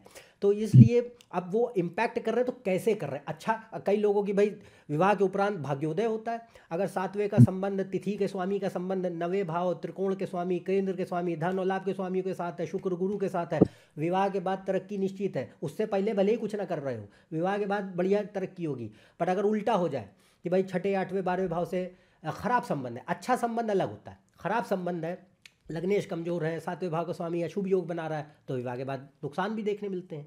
तो ये पॉइंट रहता है कि how the marriage will be lucky और unlucky that is also another thing बिल्कुल सर बिल्कुल। चलिए अभिजीत जी अब इसके बाद मैं आपको तीसरे जो मेरे को आपसे टॉपिक पे आपके व्यूज़ जानने हैं सर वो है कि देखिए ये काफ़ी बार ऐसा होता है कि there is a conflict between moon versus ascendant lord तो देखिए हमारा मन मस्तिष्क क्या चाहता है और हमारा जीवन भगवान ने क्या तय करा है? तो इस पे अगर आपको ये दुविधा देखनी है ये टर्मोइल देखना है चंद्र और लग्नेश के बीच का आप इस पे कुछ अपनी टिप्पणी अपना कुछ अपना कुछ नॉलेज शेयर कीजिए इसमें क्या है ये तो मैं हर बार अपने सारे वीडियोस में मैंने कहा कहता आ रहा हूँ रिपीटेटिवली सूर्य चंद्र लग्नेश ये बेस होते हैं कुंडली के। अगर सूर्य चंद्र लग्नेश कमज़ोर हैं, खराब हैं, अच्छी स्थिति में नहीं हैं। आप के बाकी ग्रह कितने ही बढ़िया क्यों ना उच्च के हों, स्वग्रही हों अच्छे योग बनाएँ, उनकी दशाएँ चले, रिज़ल्ट नहीं दिखाई देंगे। आप कुछ भी कर लो, रिज़ल्ट नहीं दिखाई देंगे। रीज़न? भाई देखो, सूर्य, चंद्र, लग्नेश, आपकी पर्सनालिटी, सोच, बुद्धि, विचारधारा धर्म, इनको चलाते हैं। How the morality will be, वो भी वही हैं। तो अब गुरु अकेले कुछ नहीं कर सकता। गुरु धर्म को दे सकता है बट भाई धर्म का एक्सेप्टेंस तो माइंड और पर्सनालिटी ईगो जब तक एक्सेप्ट नहीं ईगो कौन है तुम्हारा सन माइंड कौन है? मून और बॉडी कौन है? लग्न। अगर यही mind body and ego accept ही नहीं कर रहे मॉरेलिटी को तो गुरु क्या कर लेगा? तो पॉइंट ये होता है कि you have to see that mind is moon ego means identity ego does not mean pride ego means what I identify with ये मैं हूँ कि मैं एक ऐसा व्यक्ति हूँ। ये मेरा नाम है, जाति, धर्म, संप्रदाय है, ये मेरी सोच, बुद्धि, विचारधारा है, ये मेरी मान्यताएँ हैं, इनमें मैं यकीन करता हूँ, इनमें नहीं करता हूँ, ये मेरी थिंकिंग है, ये ईगो है। This is sun sun is the controller of your personality तो इसीलिए सूर्य आत्मसम्मान, आत्मविश्वास इच्छा शक्ति निर्णायक क्षमता, शरीर, ऊर्जा स्टेमिना फ़िज़िकल स्ट्रेंथ ये सब सूर्य है। करियर भी, कि एम्बिशन महत्वाकांक्षा, सूर्य है। मेहनत करने की क्षमता, सूर्य है। तो अगर सूर्य कमज़ोर चंद्र कमज़ोर और लग्नेश लग्नेश कौन? तुम्हारी बॉडी और लग्नेश है लिटरल क्योंकि बॉडी में क्या होता है? बॉडी में देखो mind is a internal what you can say CPU, CPU mind is like a internal software and Software. Who is the hardware brain is the hardware तो ब्रेन कौन है? फ़र्स्ट हाउस लग्न। तो लग्न हो गया तुम्हारा brain mind is the internal entity medium exhibiting itself in the brain mind mind को कोई माइंड इज़ नॉट टेंजिबल ना। माइंड टेंजिबल थोड़ी है माइंड इनटेंजिबल है। माइंड में क्या होता है? इमोशंस फीलिंग्स थॉट्स डिजायर्स इनको क्या नाप सकते हो? टेंजिबल है क्या ये? टेंजिबल नहीं है इनटेंजिबल है। टेंजिबल कौन है? ब्रेन टेंजिबल है। तो first house is the things which are tangible being the part of the body तो first house is literally your head sir है तुम्हारा। तो मन मस्तिष्क में मस्तिष्क यानी ब्रेन का जो हिस्सा है सिर का जो हिस्सा है और सिर में क्या होता है? भाई सोच, बुद्धि, विचारधारा यही तो है। मन मन ही तो है, मस्तिष्क ही तो बना रहे हैं। बुद्धि कितनी है? तो एसेंडेंट हमको ये दिखाएगा शारीरिक स्तर हार्डवेयर इसके बाद आता है माइंड मून और चंद्रमा बहुत ही ज़्यादा ताकतवर ग्रह है। चंद्रमा ऐसा ग्रह है जो बाकी राज्यों को भंग भंग कर देगा, ख़त्म कर देता है। उसका रीज़न सिंपल है, भाई राज्यों कितने ही बन जाए। आपका मन सही दिशा में चलता ही नहीं है। मन लगता ही नहीं है। काम जो सही आप करके सफल हो सकते हो उन तरफ़ बुद्धि जाती ही नहीं है। भटकाव इतना रहता है कन्फ्यूज़न इतना रहता है डिसीज़न पुअर हो रखा है। क्या करोगे राजयोगों का? कुछ नहीं होगा। तो पॉइंट ये होता है कि moon is your mind emotions feelings thought process sun is your personality ego identity self confidence vitality stamina energy will power that is sun अब ये तीनों अगर कमज़ोर पड़े या तीनों में से कोई एक भी गया और सूर्य फिर क्या पेरेंट्स भी बहुत भूमिका अदा करते हैं? सूर्य आपके पिता हैं चंद्रमा आपकी माँ है। बच्चा जब जन्म लेता है तो सबसे पहले उसकी फ़र्स्ट सोसाइटी कौन है? पेरेंट्स। भाई सबसे पहले उसको अपने इर्द गिर्द कौन नज़र आ रहा है? माता पिता अब माता पिता अगर अच्छे हैं तो भाई बच्चे की पर्सनालिटी उतनी बढ़िया होगी उतने अच्छे संस्कार मिलेंगे उतना अच्छा लालन पालन होगा उतना अच्छा इंसान बन सकेगा वो। और अगर वो सूर्य चंद्र खराब है माता पिता या तो अच्छे नहीं मिले, या उनका स्वर्गवास हो गया जल्दी, या उनका सानिध्य नहीं मिला, या फिर उनसे खराब संबंध है, या उनसे बनती ही नहीं है, ऐसी स्थितियाँ होंगी। तो यहाँ पर स्थिति क्या होगी कि भाई, आपकी ज़िंदगी में संघर्ष बढ़ जाता है ना। There are lot of people who don't everybody seeks approval of their parents everybody intentionally unintentionally हर कोई अपने first approval you want the approval of your parents to feel fulfilled to feel that I have done something to feel that my parents are proud of me ये हर बच्चा चाहता है। But एक उम्र के बाद जब मान लीजिए इस तरीके के कुंडली में योग है कि भाई संबंधी अच्छे नहीं रहेंगे वो अप्रूवल मिलेगा नहीं वैलिडेशन मिलेगा नहीं तो वो बाहर ढूंढेगा। बाहर ढूँढने का कंडीशन क्या होगी? Identity crisis person is suffering from deep emotional ego fragility आप social uh, approval narcissism validation के भूखे हो जाते हैं बाहर ढूंढते हैं खुद को क्लू नहीं होता कि हम कौन हैं। घर पे जो है तिरस्कार मिल रहा है वहाँ पे भी कोई सपोर्ट नहीं मिल रहा और बाहर भी आप जो है कंफ्यूज घूम रहे हैं। And it is a very dire situation most of the people are suffering through this in current day and age in west specially in west यहाँ इंडिया में तो फैमिली सीन वेस्ट भारत में भी इनकी संख्या बहुत हो गई है अब। बट हम ये कहते हैं कि सूर्य चंद्रमा ही क्या है? मन और बुद्धि। अगर मन और बुद्धि अच्छे हैं तो भाई आप विकट से विकट परिस्थिति होगी, रास्ते निकाल लोगे। सूर्य, चंद्र, लग्नेश बढ़िया है, बाकी ग्रह आपके अगेंस्ट में भी काम करेंगे, मान लो। तो रस्ते आ जाएँगे क्योंकि भाई मन सही काम चलता है आत्मविश्वास है रस्ते हम खोज लेते हैं ईश्वर पे विश्वास चलता है अपना शरीर साथ देता है। What will happen that no matter how much struggles you face ultimately you will win अंततः विजय प्राप्त करेंगे आप। अंततः आपको जो है सफलता मिलेगी भले ही कितने संघर्षों का सामना क्यों ना करना पड़े। और लग्नेश सूर्यचंद्र की भूमिका इसमें बहुत होती है।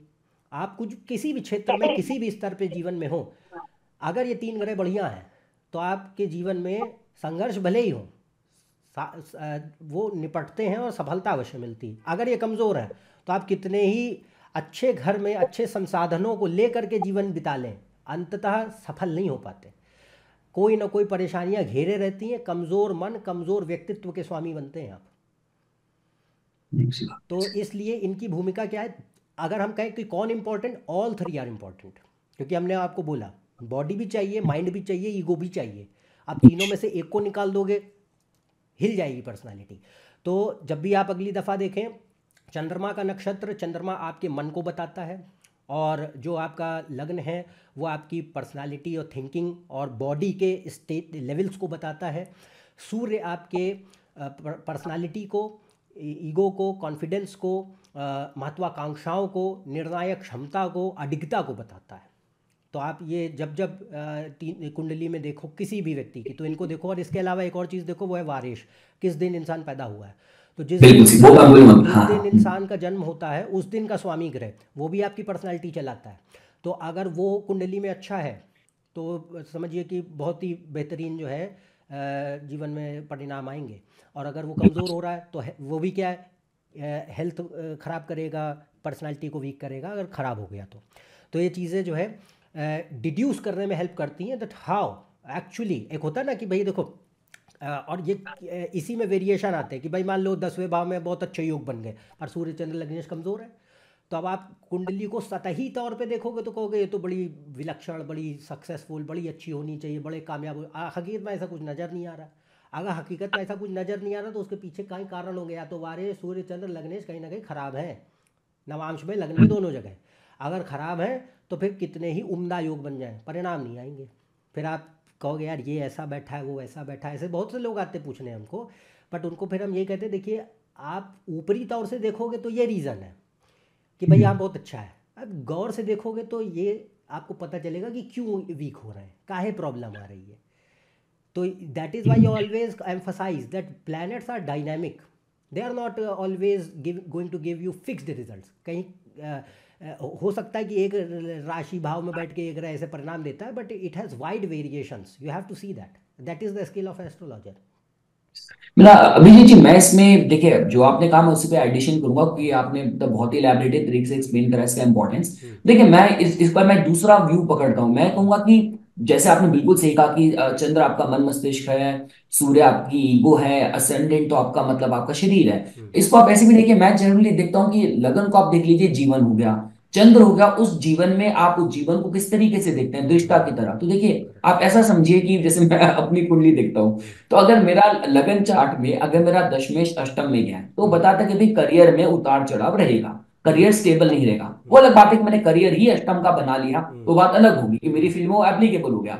लेकिन देखिए, अगर लगन से मैं देखता हूँ, दशमेश को यहाँ पे बैठता हुआ तो वो जीवन की दिशा बता रहा है करियर की। लेकिन उस जीवन में मैं उसको कैसे देखता हूँ? तो मैं जब अपने चंद्र से, अपने दशम को देखता हूँ वहाँ मंगल स्वराशित होकर मज़बूत बैठा है, शनि के साथ बैठा है जितने मर्ज़ी जीवन में करियर में उतार चढ़ाव आ जाए मैं और मज़बूत हो जाता हूँ मैं और जिद्दी हो जाता हूँ अब तो मेरे को करके दिखाना है जीवन मेरे को कैसे पछाड़ रहा है मेरे को तो और डबल करना है। तो मैं इसको उस तरीके से देखता हूँ वही देखिए मैंने कितने ऐसे केसेस देखे हैं। अब आप देखेंगे कि लगन चार्ट में सप्तम भाव पीड़ित है या सप्तम भाव में बुरे दोष बने पड़े हैं। जी आपने तो कुंडली देखिए कहा कि भाई इसकी तो गृहस्थी का बुरा हाल हो रखा है ये तो बड़ी परेशान होगी। और जब उससे बात करो तो हंस रही है। क्यों? क्योंकि चंद्र से देखो तो सप्तम में बृहस्पति उच के बैठे हैं। तो ऊपर बात है कि जीवन आपका आपका लगन से आपने जीवन देख लिया। उस जीवन में आप दृष्टा बन के अपने जीवन को आप कैसे देख रहे हो? काफ़ी बार ऐसे भी लोग मिलते हैं अगर आप लगन से देखते हैं हम्म। तो लगन से मतलब वो भाव बहुत अच्छा है। हम्म। मतलब आप देखो कि आदमी की लगन चार्ट से देखते हो नौकरी अच्छी है हम्म। और सही में अच्छी नौकरी में है भी। आज के जमाने में अच्छे पैकेज में है वेल पेइंग जॉब है खुशी कंफर्टेबल जॉब है। चंद्र से देखोगे तो दशम भाव पीढ़ी दिख रहा है। और वो बंदा उसे भी कंप्लेन करे जा रहा है वो कमियाँ निकाले जा रहा है। अरे भाई दुनिया के पास काम ही नहीं है तेरे पास काम है वो भी इतना अच्छा है सब कुछ अच्छा चला खुश हो जाओ उसमें ग्रेटफुल रहा। है। तो ये हो जाता है कि आपने सही कहा मतलब वो एक जीवन है और जीवन में आपका दृष्टा मन आप उस जीवन को कैसे देख रहे हो हाँ। इसमें देखिए मैं आपके आज के इस इनपुट्स के बाद अभिजीत जी मैं सूर्य को भी इन्वॉल्व करूँगा क्योंकि। मैंने देखिए जब मैंने बेसिक फाउंडेशन शुरू करा था हाँ। तो ये चीज़ तो मैंने पढ़ी थी हम्म। मैंने इस बार सूर्य से कुंडली को एसेस करना कम कर दिया हम्म। मैं चंद्र से कुंडली को देखता हूँ मैं हाँ। लगन से देखता हूँ पर आज की आपकी वीडियो के बाद मैं इसको भी अपने अपने मतलब उसमें अपने असेसमेंट में अपने एनालिसिस में हाँ मैंने वार को मैं देखता हूँ आपने सिखा जब मैं जैसे क्योंकि कुंडली आती है ना तो मैं पंचांग में एक नज़र मार लेता हूँ कि भैया नक्षत्र क्या है हाँ। योग क्या है करण क्या है तिथि हाँ। क्या है वार क्या है। हाँ। वो मैं और अब काफ़ी बार ऐसा भी होता है मेरे को मतलब अभी कल परसों की बात थी उनका ना कुछ ऐसे कुछ काम वाम से रिलेटेड और करियर और रिकॉग्निशन ही मिल रहा था। अब देखिए होता क्या है मैं जब मॉल में रीडिंग करता हूँ तो मैं हाथ भी देखता हूँ मैं आपका टैरो कार्ड भी देखता हूँ मैं सारी चीज़ देखता हूँ। तो टैरो में देखा उसको सूर्य का card major arcana card reverse आया। उसके बाद उनका जो सूर्य था वो उनका था बिल्कुल संक्रांति का तो हम्म। कब मैंने पढ़ा था कि मैं पता नहीं कि अगर आपका दोष आपका पूर्णिमा का अमावस का हम्म। अष्टमी का संक्रांति का हम्म। इसका जो बोलते हैं कि कॉम्बे थोड़ा कमज़ोर कर देता है तो आपने बिल्कुल सही कहा सर कि मतलब चंद्र से लगन से हाँ। और सूर्य से हमें काफ़ी क्लैरिटी देता है हाँ। कि जीवन जीवन में हमारा दृष्टा मन और उसके बाद आपकी अहम आपकी वो तीनों चीज़ें हमें टाइम से बता दें एक और चीज़ रहती है इसमें ऐड करेंगे जैसे आप चंद्र को लग्न बना के जब देखते हैं और जो लग्न है देखो लग्न मोस्ट इंपॉर्टेंट है। लग्न वो है जो घटित होगा। होगा, है जीवन है, ये ये जीवन है ये स्टोरी है। चंद्र से वो चीज़ आएगी जिसमें आप खुशी महसूस कर सकते हैं। चंद्रमा आपका मन है तो it gives you peace and satisfaction तो if you make moon as the ascendant and assume from there तब क्या होगा कि भाई वहाँ से मान लो अगर दसवां भाव सातवां भाव अच्छा जा रहा है तो क्या पता चलेगा कि भाई फॉर एग्ज़ाम्पल भाई करियर है तो you can feel satisfied from your job and career job from your family and marriage तो हम ये कह रहे थे कि भाई देखिए चंद्रमा जो है वहाँ से अगर लग्न कुंडली बना के देखते हैं तो हमको वो दिखाता है कि what kind of peace and satisfaction we can derive from life लग्न फिक्स है कि ये ही है जो है अब वो सेटिस्फैक्शन मिले नहीं मिले उससे फ़र्क नहीं पड़ता है। चंद्रमा वो दिखाएगा कि where you can find peace and satisfaction that can be seen from moon लग्न।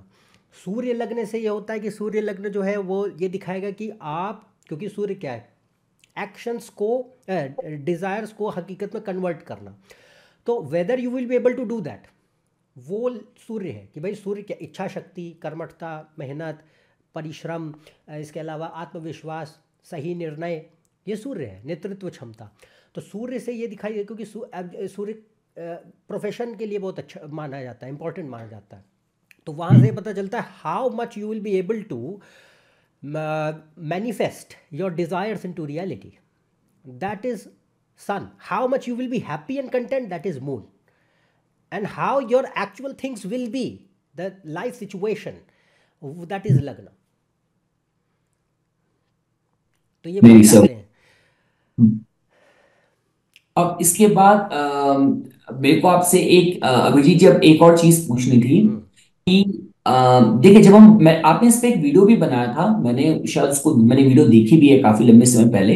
मेरे को आपसे पूछना था इस रेमेडीज पे देखिए ज्योतिष में एक रेमेडीज एक बहुत इंटीग्रल पार्ट होता है क्योंकि जब भी लोग आते हैं काफ़ी बार देखिए लोग सिर्फ़ प्रिडिक्शन सुनने के लिए आते हैं और काफ़ी बार ऐसा होता है कि लोग ऑलरेडी दुखी हैं एस्ट्रोलॉजी को उन्हें भरोसा है उन्हें एस्ट्रोलॉजर के ज्ञान को टेस्ट नहीं करना अपनी प्रॉब्लम का सॉल्यूशन चाहिए।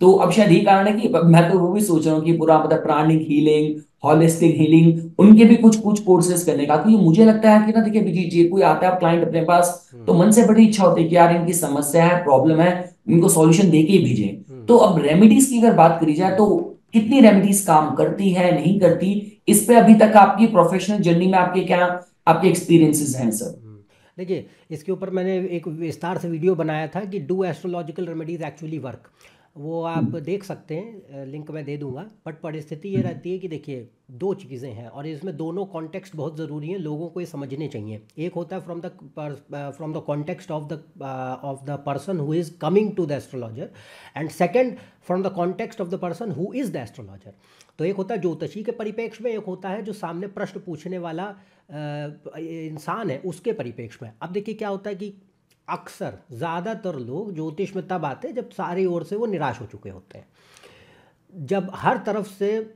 जो है व्यक्ति थक चुका है सल्यूशन नहीं मिल रहे, तब वो ज्योतिष का दरवाज़ा खटखटाएगा। अगर उससे पहले उसे सोल्यूशन मिल रहा होगा तो वो वहाँ जाएगा। दूसरी बात ये होती है कि जब वो आपके पास अक्सर आ रहे हैं तो वो काफ़ी समस्याओं से डेस्परेट होके आ रहे हैं। कोई भी प्रॉब्लम्स हो सकते हैं but they are desperate for solutions क्योंकि कंडीशन क्या है कि जो भी लाइफ कंडीशन हो कोई भी शादी ब्याह करियर पढ़ाई लिखाई जो भी आपकी समस्या है स्वास्थ्य वगैरह उससे आप परेशान हो करके व्यक्ति के आप जो है सोल्यूशन लेने आ रहे हैं। फिर से आप पॉइंट ये कहेंगे देखिए भाई यहाँ पे दो चीज़ें समझे। पहली बात तो इसका कोई उपाय नहीं है दुनिया में कि कोई ग्रह का नेचर आप बदल दो। अगर कोई ये क्लेम करता है तो वो मूर्ख बना रहा है बेवकूफ़ बना रहा है। तो साक्षात शंकर हो, ब्रह्मा हो क्या बदल दोगे। तो परिस्थिति ये रहती है, अगर कोई ग्रह दुश्मन है तो दुश्मन है, बदल नहीं सकते उसको। कोई कह रहे मित्र है तो मित्र है। अगर आप दुश्मनों की ग्रहों की दशाओं से गुजरेंगे, उनको तकलीफ़ें देनी हैं, जिस भी एरिया में देनी है, देंगे ही देंगे। You can not escape the suffering of the world अगर आप इसको देखें तो हम सबसे बड़ी बात ये भी कहेंगे, आप उन लोगों की जीवन को देखें। कुंडली छोड़ो। हम तो ये कह रहे हैं कि कुंडली भी बता सकता हूँ, बट पॉइंट ये है कि भाई, आप अवतारों के जीवन को देखें, आप सिद्ध पुरुषों के जीवन को देखें। क्या उनके जीवन में परेशानियाँ, कठिनाइयाँ दुख दर्द नहीं है क्या? सब कुछ है। पर ऐसा क्या है उनके पास जो उनको बॉदर नहीं करते? जो इतना ज़्यादा दुख और संताप में लीन नहीं है जितना आम आदमी हो जाता है? इतने हताश, निराश नहीं हो गए हैं कि हाथ पैर बिल्कुल ही फूल गए, कुछ सुझाई नहीं दे रहा। ऐसी परिस्थिति में तो ना विवेकानंद गए, न रामकृष्ण परमहंस गए, ना गौतम बुद्ध गए, न भगवान कृष्ण गए, न भगवान राम गए। क्या इनके जीवनों में दुख, दर्द, संताप, पीड़ा, कष्ट नहीं थे? ये तो साक्षात ईश्वर रहे हैं, फिर भी तो परिस्थिति यह है कि अगर मनुष्य अवतार में ईश्वर भी साक्षात रूप में विद्यमान क्यों ना हो जाए? भाई मनुष्य, मनुष्यता के और जो फ़िज़िकल नेचुरल लॉज हैं, उनसे, उनको ओवर पावर थोड़ी कर देंगे वो। Can not challenge and overpower the laws of nature nobody can do that तो कंडीशन ये रहती है कि ज्योतिष में आपको उपाय काम कहाँ करेंगे? वो अभी बात करेंगे। बट पहले इस भ्रांति को दिमाग से निकाल दीजिए कि कोई उपाय करके आप अपनी मनचाही चीज़ पा जाएँगे। इस भ्रांति को दिमाग से निकालना होगा। अगर वो तुम्हारे भाग्य में है और कुछ रुकावटें आ रही हैं तो उपाय काम करेंगे कि वो तुम्हें मिल जाए। अगर वो भाग्य में ही नहीं है तो फिर कितने ही उपाय कर लो नहीं मिलेगा। अच्छी बात की बहुत अच्छी बात की बहुत अच्छी बात की। उपाय भी आपके जो रिटर्न डेस्टिनी के रेंज के भीतर ही काम करें रेंज के भीतर में। ऐसा थोड़ी है कि हम ग्रहों को पलट के रख दें और कोई इंसान यदि ये क्लेम कर रहा है तो वो समझ जाइए उससे दूर भागिए वो क्योंकि वो जो है वो मूर्ख वो सुना मैंने ऐसे ऐसे केसेस आते हैं जो विक्टिम बन के आते हैं कि जो देखिए जो डेस्परेशन किन में होती है पॉलिटिशियंस में होती हाँ। है एक्टर्स में होती है ब्रेक नहीं मिल रहा कुछ नहीं मिल रहा हाँ। और मैंने सुना है ऐसे लोग बोलते हैं कि तुम्हारी ना ग्रह की रोशनी ना रश्मि है। इस भाव तक पहुँच नहीं रही मैं इसको यहाँ पहुँचा दूँगा यहाँ मुँह पर अरे हाँ, भाई। तो ब्रह्मा हो पहुँचा दोगे ये ये सब ऐसे ऐसे अच्छा नहीं बात बहुत सही कह रहे हैं क्योंकि देखो एक और चीज़ होती है। फिर क्या होता है जब इंसान इतना डेस्परेट होता है ना तो यहाँ पे ज्योतिष ज्योतिष मैटर ही नहीं करती ये सप्लाई और डिमांड का गेम बन जाता है। भाई देखो डिमांड इतनी ज़्यादा है कि I want spoon fed solutions मेरे को भाई कोई भी सोल्यूशन कोई टोटका कोई चमत्कार करके दे दो तुम। पहली बात तो चमत्कार दुनिया में होते नहीं है। पर कंडीशन ये रहती है कि भाई अगर कोई चाह भी रहा है कि नहीं मुझे जो है चाहिए कुछ करके बस मेरी इच्छा पूरी कर दो। जो मैं चाह रहा हूँ हो जाए। अरे भाई भाग्य में होगा तो हो ही जाएगा। नहीं हो भाई अभिजीत जी अभिजीत पता है यहाँ पे आते ना देखिए हम लोग तो, जो एस्ट्रोलॉजर्स के बीच में ना और जो मैनिफेस्टेशन प्रैक्टिसेस और जो लॉ ऑफ़ अट्रैक्शन प्रैक्टिस है वहाँ पे बीच में लाइन आ जाती है मैं खुद लॉ ऑफ़ अट्रैक्शन को मानता हूँ मैं मैनिफेस्टेशन को मानता हूँ पर वो भी काम करेगा मेरी चलती दशाओं और मेरे भाग्य की जो बिल्कुल रेंज के बीच में। मतलब ऐसा नहीं देखिए मैं अब जैसे मेरे परिवार में जैसे मेरी सिस्टर है she is a firm believer of positive तो मैं भी इंसान हूँ। पॉजिटिविटी के साथ लॉ ऑफ़ अट्रैक्शन मैनिफेस्टेशन मैं थोड़ा पूजा पाठ मंत्र उपासना में बहुत ज़्यादा डिटेल में रहता हूँ। पर मैं उसको ये बोलता हूँ कि ठीक है तू जितना मेरे को एम्फोसाइज करती है मैनिफेस्टेट मैनिफेस्ट वही चीज़ होगी लॉ ऑफ़ अट्रैक्शन वही मेरे लिए पास लेके आएगा जो मेरा समय और मेरी कुंडली की दशा है क्योंकि ये दोनों चीज़ें कॉन्ट्राडिक्टरी हो जाती हैं। कि जब मैं बोलूँ कि भी तुम्हारा समय तुम्हारा भाग्य भी ये बोल रहा है हाँ, इस एरिया हाँ, इस एरिया में आप इजीली सक्सेस पा सकते हो। हाँ, अब उसी टाइम पे हाँ, आप मॉल में घुसे। हाँ, सामने शॉप है मेरी जहाँ मैं एस्ट्रोलॉजर बनकर आपका समय का आपको कैलकुलेशन बता रहा हूँ। हाँ, लेफ़्ट में दुकान खुली है जो लोगों को मैं आपको कुछ भी करवा के दिखा दूँगा। हाँ, कुछ तो ऐसा वो अलग अलग रेंज अलग रेंज देखो अगर ऐसा मुमकिन होता तो भाई जो मैं चाहूँगा वो हो जाएगा। मैं आज चाहूँगा कि मेरे पास अथा धन हो, वो हो जाएगा, क्योंकि हमारे पास ऐसे कोई उपाय है, कोई टोटके अरे, ऐसा नहीं होता है। और अगर ऐसा होता है तो जो व्यक्ति ये क्लेम कर रहा है, उसने अपनी ज़िंदगी में वो चीज़ें क्यों नहीं हासिल कर ली, जो वो तुम्हें प्रॉमिस कर रहा है देने के लिए? ये तो नहीं देखिए पता है और ये बात है अभिजीत जी मैं इसलिए मैं देखिए ज्योतिष का ज्ञान ना एक सत्य को जानना अपने कर्म अपने भाग्य को जानने और उसके साथ स्वीकृति में रहने का। आप सपोज़ कीजिए एक इंसान है अभी ट्वेंटीज में है डेस्परेट है कि सोसाइटी का प्रेशर है कि मेरी मेरी फ्रेंड मेरी कज़न मेरी बहन सबकी शादी पच्चीस में होगी मैं तो बत्तीस की होगी मेरी शादी नहीं होगी। भाई तुम्हारा शनि इतना मज़बूत है शनि तुम्हें छत्तीस से पहले विवाह देगा नहीं। और आज की डेट में आज की डेट में ऐसे हैं जो मैरिजेस लेट हो रही हैं।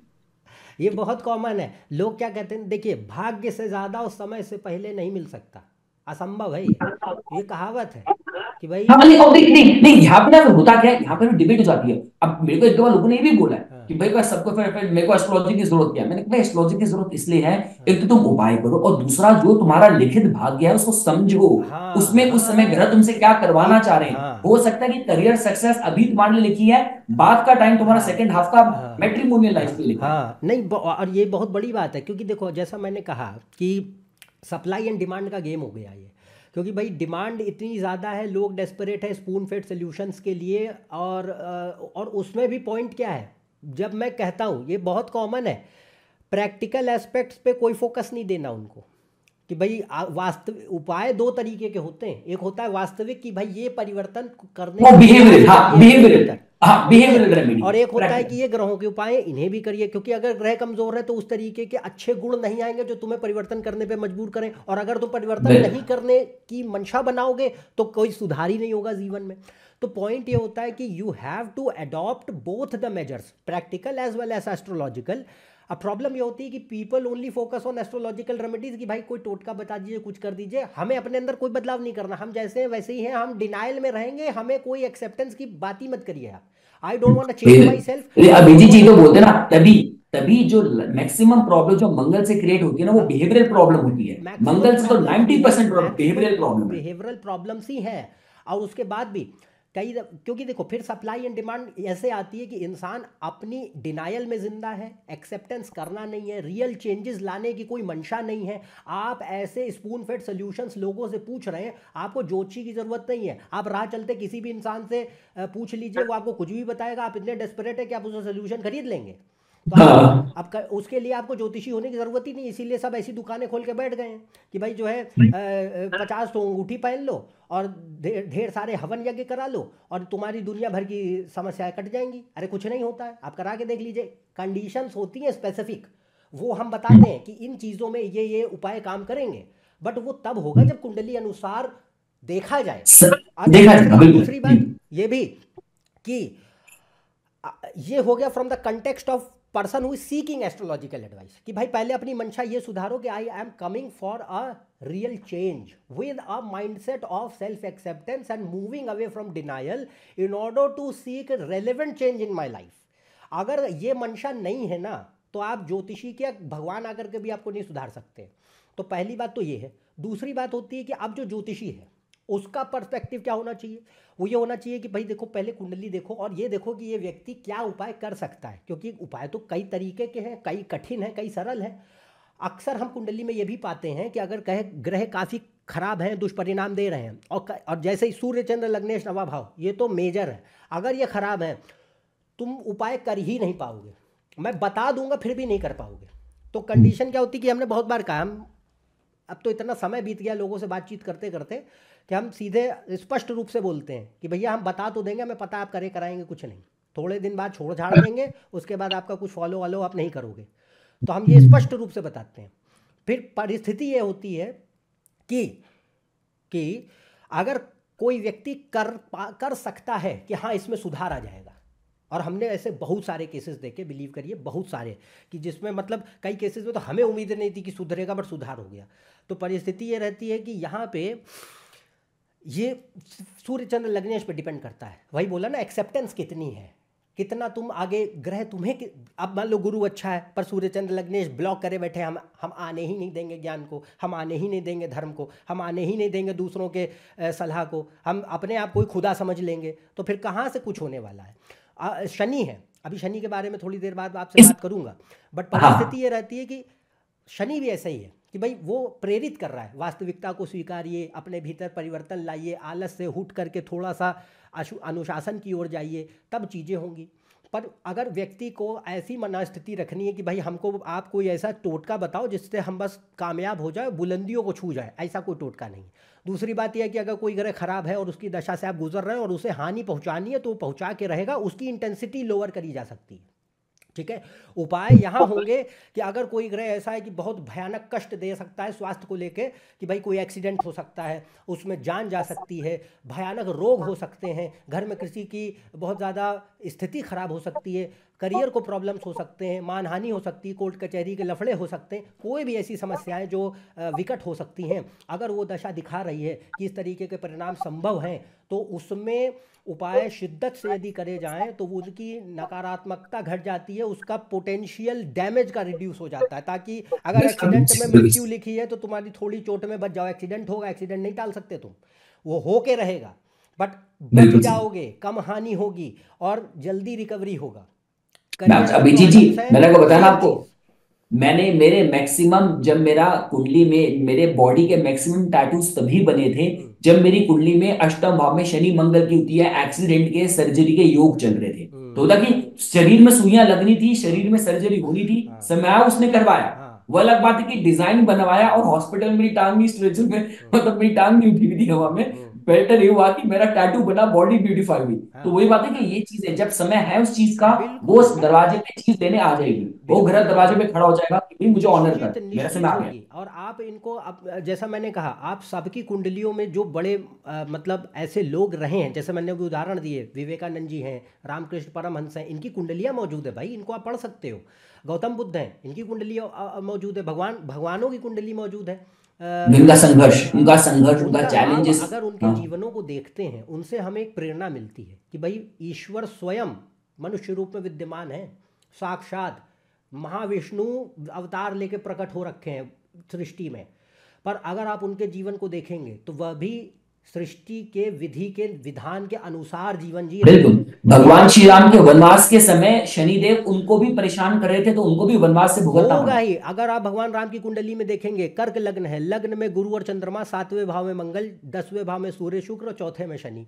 अब भगवान राम की कुंडली में जो है ये योग जितने आ गए ये तपस्वी राजा लिटरली तपस्वी राजा क्योंकि तप कौन है? गुरु मंगल और चंद्रमा। इसको राज लक्षण योग कहा गया। तो राज लक्षण योग क्या है?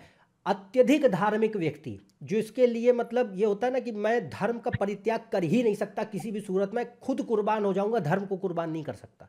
वो है गुरु जब उच्च का हो और मंगल उच्च का हो आमने सामने हो और चंद्रमा उनमें आ जाए। तो इसको कहते हैं राज लक्षण योग। भगवान राम के इसीलिए मर्यादा पुरुषोत्तम है। सूर्य शनि आमने सामने। अब भगवान राम की तिथि क्या है? नवमी तिथि में पैदा हुए। नवमी का स्वामी सूर्य होता है विवाह चला रहा है सूर्य। और सूर्य शनि एक दूसरे के शत्रु ये दोष बनाते हैं। अगर दोष बना दिए सातवें में मंगल आ गया चौथे में शनि आ गया पारिवारिक वैवाहिक जीवन को खराब कर देगा। तो भगवान राम स्वयं ईश्वर है पर उनका खुद का वैवाहिक पारिवारिक जीवन सुखद नहीं रहा। धनिष्ठा सत उनका ग्रह बैठा भी धनिष्ठा में था तो हाँ और और उसको हाँ। बदलाव करने के लिए उन्होंने वो ईश्वर है पर इसका ये अर्थ थोड़ी है वो ग्रहों को बदल देंगे मनुष्य रूप में रहते हुए। उसका आदर उसका सम्मान और उसके नियमानुसार उनको भी जीवन जीना है। तो जब हमको ये सिखा रहे हैं तो हम उनके आगे हमें उनको आए उनका उनको प्रेरणा बना के अपनी ज़िंदगी बढ़ानी है। ये थोड़ी नहीं, कहना पता है है। अब वो अब नहीं हाँ। रहे तो तुम कहाँ से बदल दोगे? तो नहीं अभिजीत इसमें हाँ आपने बात की इसमें ना तभी हम जैसे जो एस्ट्रोलॉजर्स का रूल आता है देखिए मैं आपसे बताता हूँ काफ़ी बार क्या होता था बचपन से मेरे को भी घर वाले जब ज्योतिष के पास लेके जाते थे तो देखिए हर किसी से पाला पड़ता है मनुस्थिति होती है उनकर किसी की अपनी तो काफ़ी बार लोग सिर्फ़ डराने के लिए बात बोलते थे। मैं बोलता हूँ कि एस्ट्रोलॉजी में रेमेडीज सबसे ज़्यादा काम करती है काउंसलिंग के तौर पे कि हाँ। आप हाँ सामने वाले को ग्रह का मूल स्वभाव समझाओ कि तुमसे चाहता क्या है तू कर क्या रहा है। हम्म। आपकी समस्या क्यों रही क्योंकि आप ग्रह के मूल स्वभाव के अकॉर्डिंग काम नहीं कर रहे। अगर वो आपने समझ लिया जीवन को ढाल लिया ऑटोमेटिकली आती रेमेडी तो वही होगी। आपने ग्रह का मूल स्वभाव समझ के वैसा ढाल लिया। वो आपके अपना रेमेडी शुरू बिल्कुल। तो ज्योतिष इसीलिए फ़ायदेमंद है क्योंकि वो आपको प्रेरित करती है वास्तविकता की स्वीकृति के लिए। इस यस बात ये के लिए बहुत नहीं बड़ी बात इस बात के लिए नहीं कि जो आप चाहते हैं वही हर बार हो जाए। लोग इस मंशा से उपाय करने आते हैं कि जो हम चाहते हैं वो हो जाए। इसलिए उपाय नहीं होते हैं। और दूसरा दूसरा होता है कि उपाय अगर है भी तो कोई नकारात्मक पक्ष यदि है तो उसकी नकारात्मकता घट जाए। Intensity reduces behaviour does not change you can't do it तो कंडीशन ये आती है। दूसरा उपाय स्पेसिफिक होते हैं और मैं सबसे ज़्यादा रिलाई करता हूँ मंत्र जाप पे। तो सबसे ज़्यादा अगर आप किसी को कोई सलाह देते तो पहले तो जो आपने काउंसलिंग की बात करी ये बहुत ज़रूरी है। एक अच्छे एस्ट्रोलॉजर को अच्छा काउंसलर होना बहुत ज़रूरी है। अगर आप अपनी बातों को उस तक पहुँचा नहीं पा रहे उस सेंस में जिसको वो समझ पाए अब भाई देखो आप पहुंचाइए कोशिश करिए कि वो समझे। कई बार ऐसा होता है कुछ लोग समझ समझ नहीं समझ ही नहीं सकते। ऐसे ही ग्रह क्या कर लोगे? तो परिस्थिति है कि अधिकतम लोग समझ जाते हैं। तो समझ जा रहे हैं तो समझिए कि काफ़ी हद तक परिवर्तन आएगा। हम्म दूसरी बात यह होती है कि ग्रहों में अगर कोई जो है बल नहीं है, मान लो एक और चीज़ होती है कि ग्रह खराब नहीं है, कमज़ोर हो गया है, दोनों में बहुत बड़ा अंतर है। खराब है मतलब तुम्हारा दुश्मन है दोष बनाया नुकसान देगा। कमज़ोर है पर अच्छा है तो मतलब शत्रु नहीं है, मित्र है, ताकत घट गई मतलब अब परिणाम कम हो जाएँगे। इंटेंसिटी रिड्यूस हो गई। हंड्रेड परसेंट पर काम करना था पचास साठ, तीस परसेंट पे काम कर रहा है। इतनी ही ताकत है उसकी। तो जितनी कैपेसिटी होगी, उतने रिज़ल्ट देगा, उससे ज़्यादा नहीं दे सकता। तो अगर ऐसे कंडीशन आ जाती है तो हम कहते हैं कि ग्रह की बल को बढ़ाने के लिए उपाय करे जाएँ, ताकि वो आपका अच्छा ग्रह है तो उसमें सुधार हो और अच्छे परिणाम देखने मिल सकें। तो दो जगह, एक होता है इंटेंसिटी बढ़ाने के लिए भी होता है, दूसरा इंटेंसिटी घटाने के लिए भी होता है। अब शत्रु है तो इंटेंसिटी घटाओगे। मित्र है, कमज़ोर हो गया तो बढ़ाओगे। अब ऐसे उपाय कहे जाते हैं। उसमें कुछ चीज़ें पहनने के लिए भी केस स्पेसिफिक होती हैं।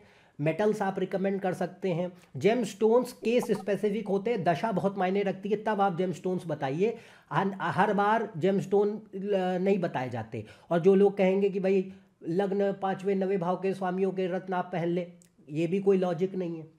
कि मान लो अगर लग्नेश कमज़ोर है, उसने जो है हानि के योग बना दिए स्वास्थ्य के आप उसका रत्न पहनेंगे नुकसान कर देगा आपको। उसकी पावर बढ़ रही है ना अब उसकी पावर बढ़ा रहे हैं। और नुकसान और ये रहता है कि आपको ये भी देखना है कि हम कैसे कुंडली में ग्रह हैं तब आप रत्न प्रिस्क्राइब करिए। अन्यथा सबसे बेस्ट होते हैं मंत्र। मंत्र में ये कहा जाता है कि हर ग्रह के अब जैसे मैंने इष्ट देवता की बात करी सबसे पहले भाई इष्ट देवता पकड़ लो सीधे इष्ट देवता को। उससे बेस्ट तो कुछ है ही नहीं।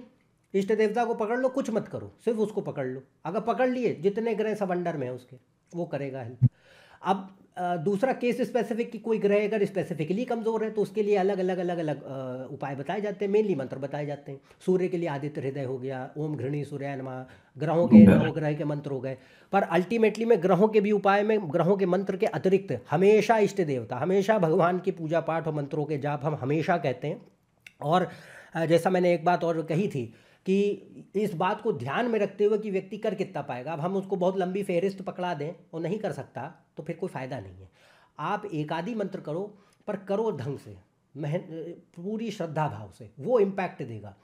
और जैसा मैंने कहा, कई लोगों का रुझान ही नहीं होता है। अब रुझान नहीं है तो फिर भाई एक होता है कि भाई बेसिक एक आध छोटे मंत्र बता दीजिए ताकि वो उतने तो कर ले। क्योंकि कमज़ोर होगा तो उपाय करने नहीं देगा आपको। उसमें अभिजीत जी आप जैसे जब आप किसी को मंत्र रिकमेंड करते हैं तो उसमें मतलब कोई संख्या ड्यू काउंट की कोई सीक्वेंस वो मतलब हाँ, एक वो बताते हैं या इट्स लाइक कि आप बस एक माला करो सुबह that's more than enough slowly gradually देखिए आप क्या होता है ना बहुत सारे अधिकतम समय जितने लोगों से हम बातचीत करते हैं बहुत बड़ी जनसंख्या होती है जो कि मंत्र जाप और ये पूजा पाठ करने में उनको जो है बहुत ज़्यादा झिझक होती है या वो थोड़े समय करने के बाद छोड़ छाड़ देते हैं।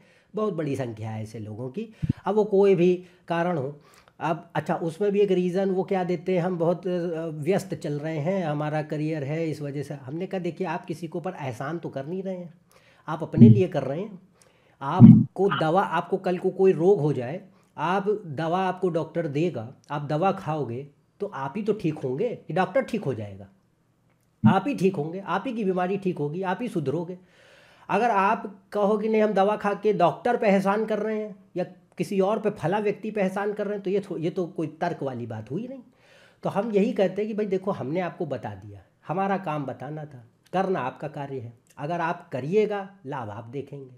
आप कई बार माता पिता बच्चों के लिए लेते हैं बोलते हैं हम कर ले उनके बिहाफ पे। हम कहते देखिए अगर इंसान असमर्थ है, ऐसी परिस्थिति है कि वो कर नहीं सकता, शारीरिक रूप से असमर्थ है, कोई अन्य दिक्कतें हैं तो हम कहते हैं कि भाई कोई उसके बिहाफ पे कर ले।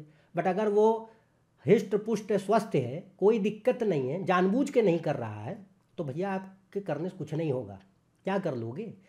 एट दी एंड तो वो इंडिविजुअल है ना, आपके बेटे बेटी होने से पहले वो इंडिविजुअल है। It is a atma travelling in a body with all kind of purva janma karma upon it तुम्हारे संतान होने से पहले वह एक व्यक्ति है और उसके ऊपर कर्म लगे हुए हैं और उसके उपाय उसे ही करने होंगे। आपके करने से उतना इम्पैक्ट नहीं आएगा जितना आप सोच रहे हैं।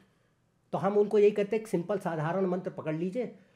भाई शंकर, भगवान का ओम नमः शिवाय कर लो। कुछ तो कर लो, कुछ कर लो, उससे लाभ होगा। धीरे धीरे एक होता है कि चलो आज एक से शुरू करा, फिर और बढ़ गई संख्या। कहीं से शुरू करो, कुछ करो। ये तो अभिजीत जी आपने सीखा आपके कर्म का इतना अच्छा बताया देखिए वैसे तो ये मतलब एक स्पिरिचुअल सा पॉडकास्ट है इसमें बात लानी नहीं चाहिए लेकिन देखिए अभी कल परसों की अभी कल की न्यूज़ थी शायद कि ये दिल्ली साइड में कहाँ पे वो थी उसमें एक फैमिली थी वो जो जो मेल फिगर थे around mid fifties and all वो अपना बैग लेके रेलवे के वो मतलब गेट पे ही थे ट्रैवल कर रहे थे तो किसी ने स्नैचिंग करने की कोशिश करी हम्म। और वो जो वो थे वो गिर गए और उनके पैर ट्रैक में आ गए उनके दोनों पैर कट गए। तो तब बोलने को उनकी फैमिली का कि पासर्स बाय सब वीडियो बनाते किसी ने कुछ करे पर मुद्दा वो नहीं है। तो पुलिस को जो जो स्टेटमेंट है वो है कि जो वो कल्प्रेट था वो भाग गया बच गया। हम्म। लेकिन कर्म नहीं गया ना कर्म वो ले गया अपने साथ। वो हाँ उसका वो नहीं बचा वो किसी जन्म में हम्म। उसकी टांगे जाएँगी। किसी निर्दोष को उसने उसकी टांगे जाएँगी। ये ये होता है ना वो लग जाता ये बात आप ठीक कह रहे हैं। पर हम यही कहते हैं कि देखिए अगर उपाय जो होते हैं मंत्र मुख्य हैं कुछ चीज़ें पहनने के लिए होती हैं पर और और अगर ग्रह थोड़े बहुत भी सहायक हैं कि भाई कुछ करोगे तो लाभ अवश्य होगा तो अवश्य होगा मतलब होगा ही होगा। अगर आप ये कहो कि हम कोई चीज़ सिर्फ़ पहन लें और दान दे दें या कुछ और कर लें और कुछ पढ़ें नहीं, भगवान से न जुड़े, धर्म से न जुड़े, अपने आप को न बदलने की कोशिश करें और सिर्फ़ हमने एक अंगूठी पहन करके जो है हमने सोचा कि सब बदल जाएगा, आप बहुत बड़ी भ्रांति में कोई सुधार नहीं होता इससे अब इसके बाद अभिजीत जी मैं आपका सीधा मैं कंक्लूडिंग टॉपिक पे लेकर क्योंकि हमारी पहली वीडियो है। हम्म, मैं चाहता हूँ इतनी शॉर्ट क्रिस्प रहे कि लोगों का इंटरेस्ट अगले वीडियो के लिए अवेटिंग रहे। हाँ लेकिन मैं मैं लास्ट टॉपिक पे आपको ले आऊँ कि ये रेमेडी से ही कनेक्टेड है। हम्म। और जब भी बात रेमेडी की आती है हम्म। वो आ जाती है ऐसे ग्रह पे कि जो मतलब जिसकी रेमेडी मैक्सिमम एस्ट्रोलॉजिस्ट रिकमेंड करते हैं जिनकी वजह से मैक्सिमम लोग परेशान हैं। हाँ। और वही एक ऐसे कि गेम चेंजर है किसी का भाग्य पकड़ पलट सकते हैं बड़ी पावर दे सकते हैं तो वही एक ग्रह है। तो आप समझ गए मैं किन की बात कर रहा हूँ? The planet responsible for greatness पर मैंने एक क्वेश्चन आपको मैं इस तरीके से पुट अप करूँगा कि आपकी नज़र में अगर मैं आपसे पूछूँ तो शनि देवता इज़ सैटर्न अ टॉर्मेंटर और is Saturn a motivator is Saturn tormentor और सैटर्न मोटिवेटर आप इसको अपनी एक्सपीरियंस पे एक्सप्लेन कीजिए। देखिए इसमें अभी इसका प्रश्न का जवाब मैं एक शब्द एक लाइन में दे देता हूँ इसका आंसर है चंद्रमा की पोजीशन शनि का, शनि टॉर्मेंटर भी हो सकता है कि वो कष्टदायक, पीड़ादायक हो जाए, या फिर वो आपके लिए बहुत ही अच्छे परिणाम ज़िंदगी में दे, आपको एक पथ प्रदर्शक बन करके आगे लेके जाए। तो वो दोनों ही सूरतें देखने मिलती हैं, बट उसमें निर्भर करता है चंद्रमा की स्थिति। इसीलिए साढ़े साथी की भूमिका बहुत मानी गई है। तो कंडीशन क्या है कि रिमेंबर कि moon is your mind mind likes to live in delusions denial bubbles ठीक है? हम अपनी कल्पनाओं में ज़िंदा रहने के आदि होते हैं। आत्म प्रवंचना में जीने के आदि होते हैं। आत्म अस्वीकृति में जीने के आदि होते हैं।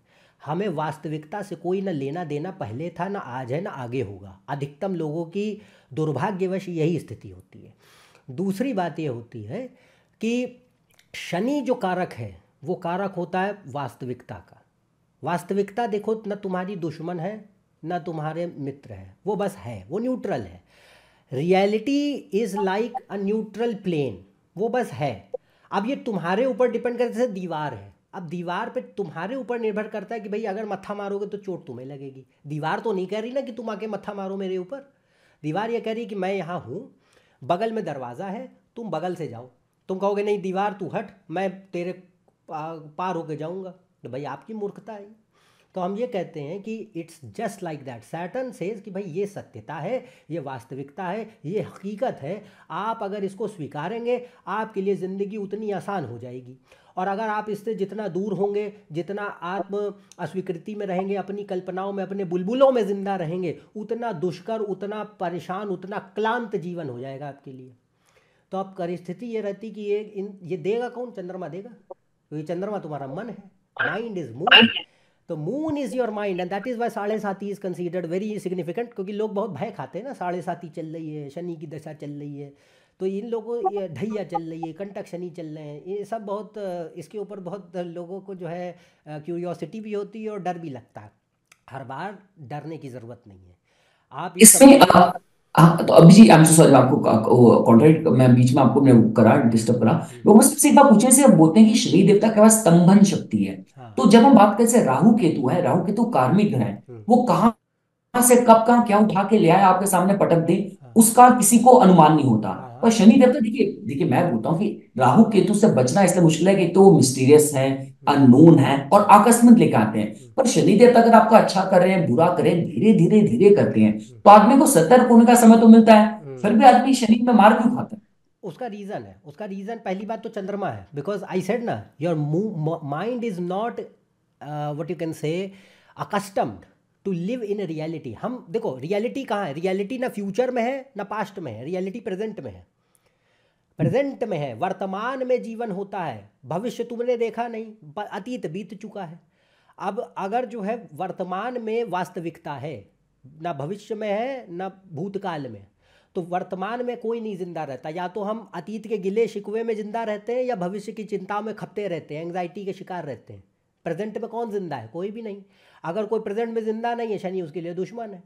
तो अब कंडीशन ये है कि remember moon is the culprit here Shani culprit नहीं है। शनि का तो नेचर ही वो है। वो खुद थोड़ी कह रहा कि मैं, वो ये नहीं कहता कि मैं तुम्हारा दोस्त हूँ या दुश्मन हूँ। वो वास्तविकता को दिखाता है, वो कहता मैं हूँ। और ऐसा ही हूँ।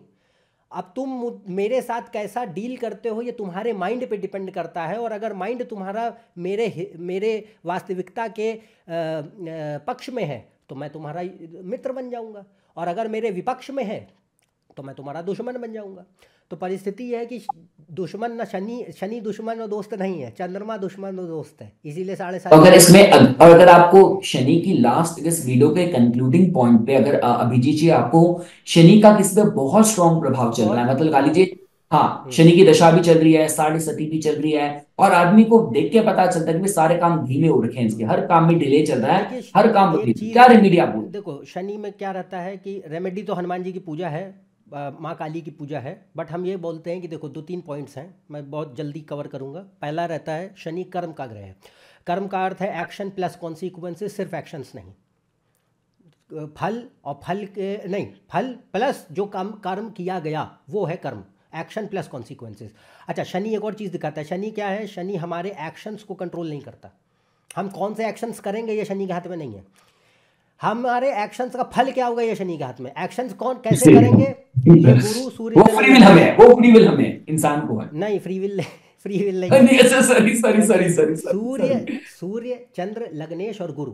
ये चार ग्रह हमको ये दिखाएँगे कि how we are as a person and how we are going to act अब what is acted it will generate a action plus consequence अब वो एक्शन और कॉन्सिक्वेंस अब ये शनि क्या कहेगा? Shani is like a accountant वो कहेगा कि भाई ये तुमने कर्म करे इसका ये परिणाम है अब ये परिणाम मेरे हाथ में I am going to decide the result तो Saturn does not decide the actions Saturn and it does not decide the consequences it decides the collective result of both action and consequences which have been done that is why it is a difficult planet क्योंकि उसको परिणाम देना है। और अब मान लीजिए आपको किसी को परिणाम देना अब परिणाम अच्छा भी हो सकता है बुरा भी हो सकता है।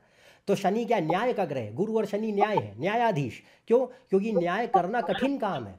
कल आपको किसी को भाई कोई न्यायाधीश है उसको किसी को फांसी की सज़ा सुनानी है तो फांसी की सज़ा सुनाना क्या आसान काम है? नहीं। आप किसी को जो है इतनी दुष्कर सज़ा दे दें मृत्यु दंड दे दें तो उसके लिए आपको पहले क्या है? शनि लॉजिक का ग्रह है। न्याय का अर्थ धर्म का अर्थ ये है कि भाई हम न्याय के आधार पर धर्म की स्थापना करें। लॉजिक के बेसिस पे जस्टिस दिया जाए। वो शनि है। तो that is Saturn and that is why it is hard because Shani हमको हमारा आईना दिखाता है। भाई तुमने जो कर्म करे, दुनिया से मुँह चुरा लोगे, अपने आप से कैसे चुराओगे? खुद को तो पता है क्या करा है? तो कंडीशन ये कि शनि ये कहेगा कि भाई ये तुम हो, ये है तुम्हारा आईना, ये है कच्चा चिट्ठा, ये देखो तुम। अब ये तुम हो तो ये इसका परिणाम है ये फलस्वरूप ये मिलेगा। अब जैसे हो इसका ये फल है अब इसीलिए शनि से क्योंकि भाई इससे क्या पता चल रहा हम अपना ही चेहरा नहीं देखना चाहते हकीकत से मुँह चुरा के घूम रहे हैं। that is why saturn is very hard for planet because we don't want to see ourselves. That is the problem. इसके अलावा शनि क्या है? शनि दिखाता है इसके अलावा एक और चीज़ वो वास्तविकता का पक्ष तो बता दिया। दूसरा है जो आप कहते हैं देरी। क्योंकि भाई देखो शनि जो है अगर देता है भाई बेस्ट एग्ज़ाम्पल अमिताभ बच्चन जी अटल बिहारी वाजपेयी जी ये शनि की महादशा में बने हैं जो बने हैं। तो आप उनके केस में देखो अमिताभ बच्चन जी के केस में कुंभ लग्न है शनि केंद्र में है चौथे भाव में है वृषभ में है राशि बहुत अच्छी है हाँ? तो condition wise Shani is excellent very favourable he became Amitabh Bachchan in Saturn mahadasha which started from 1971 in his case तो कंडीशन इज़ दैट शनि हर बार आपको नुकसानदेह ज़रूरी तो नहीं। तो हम ये कहते हैं कि भाई आपको वो ग्रह देखना है। दूसरा, अटल बिहारी वाजपेयी जी, लग्न में तुला में शनि बैठे हैं। ही बिकेम प्राइम मिनिस्टर है? अब वहीं उल्टा ले लो, इंदिरा गांधी। ही she was killed in Saturn dasha. Rahu Saturn period Rahu Saturn period she got assassinated same thing happened with Rajiv Gandhi. He got killed in Saturn Venus dasha.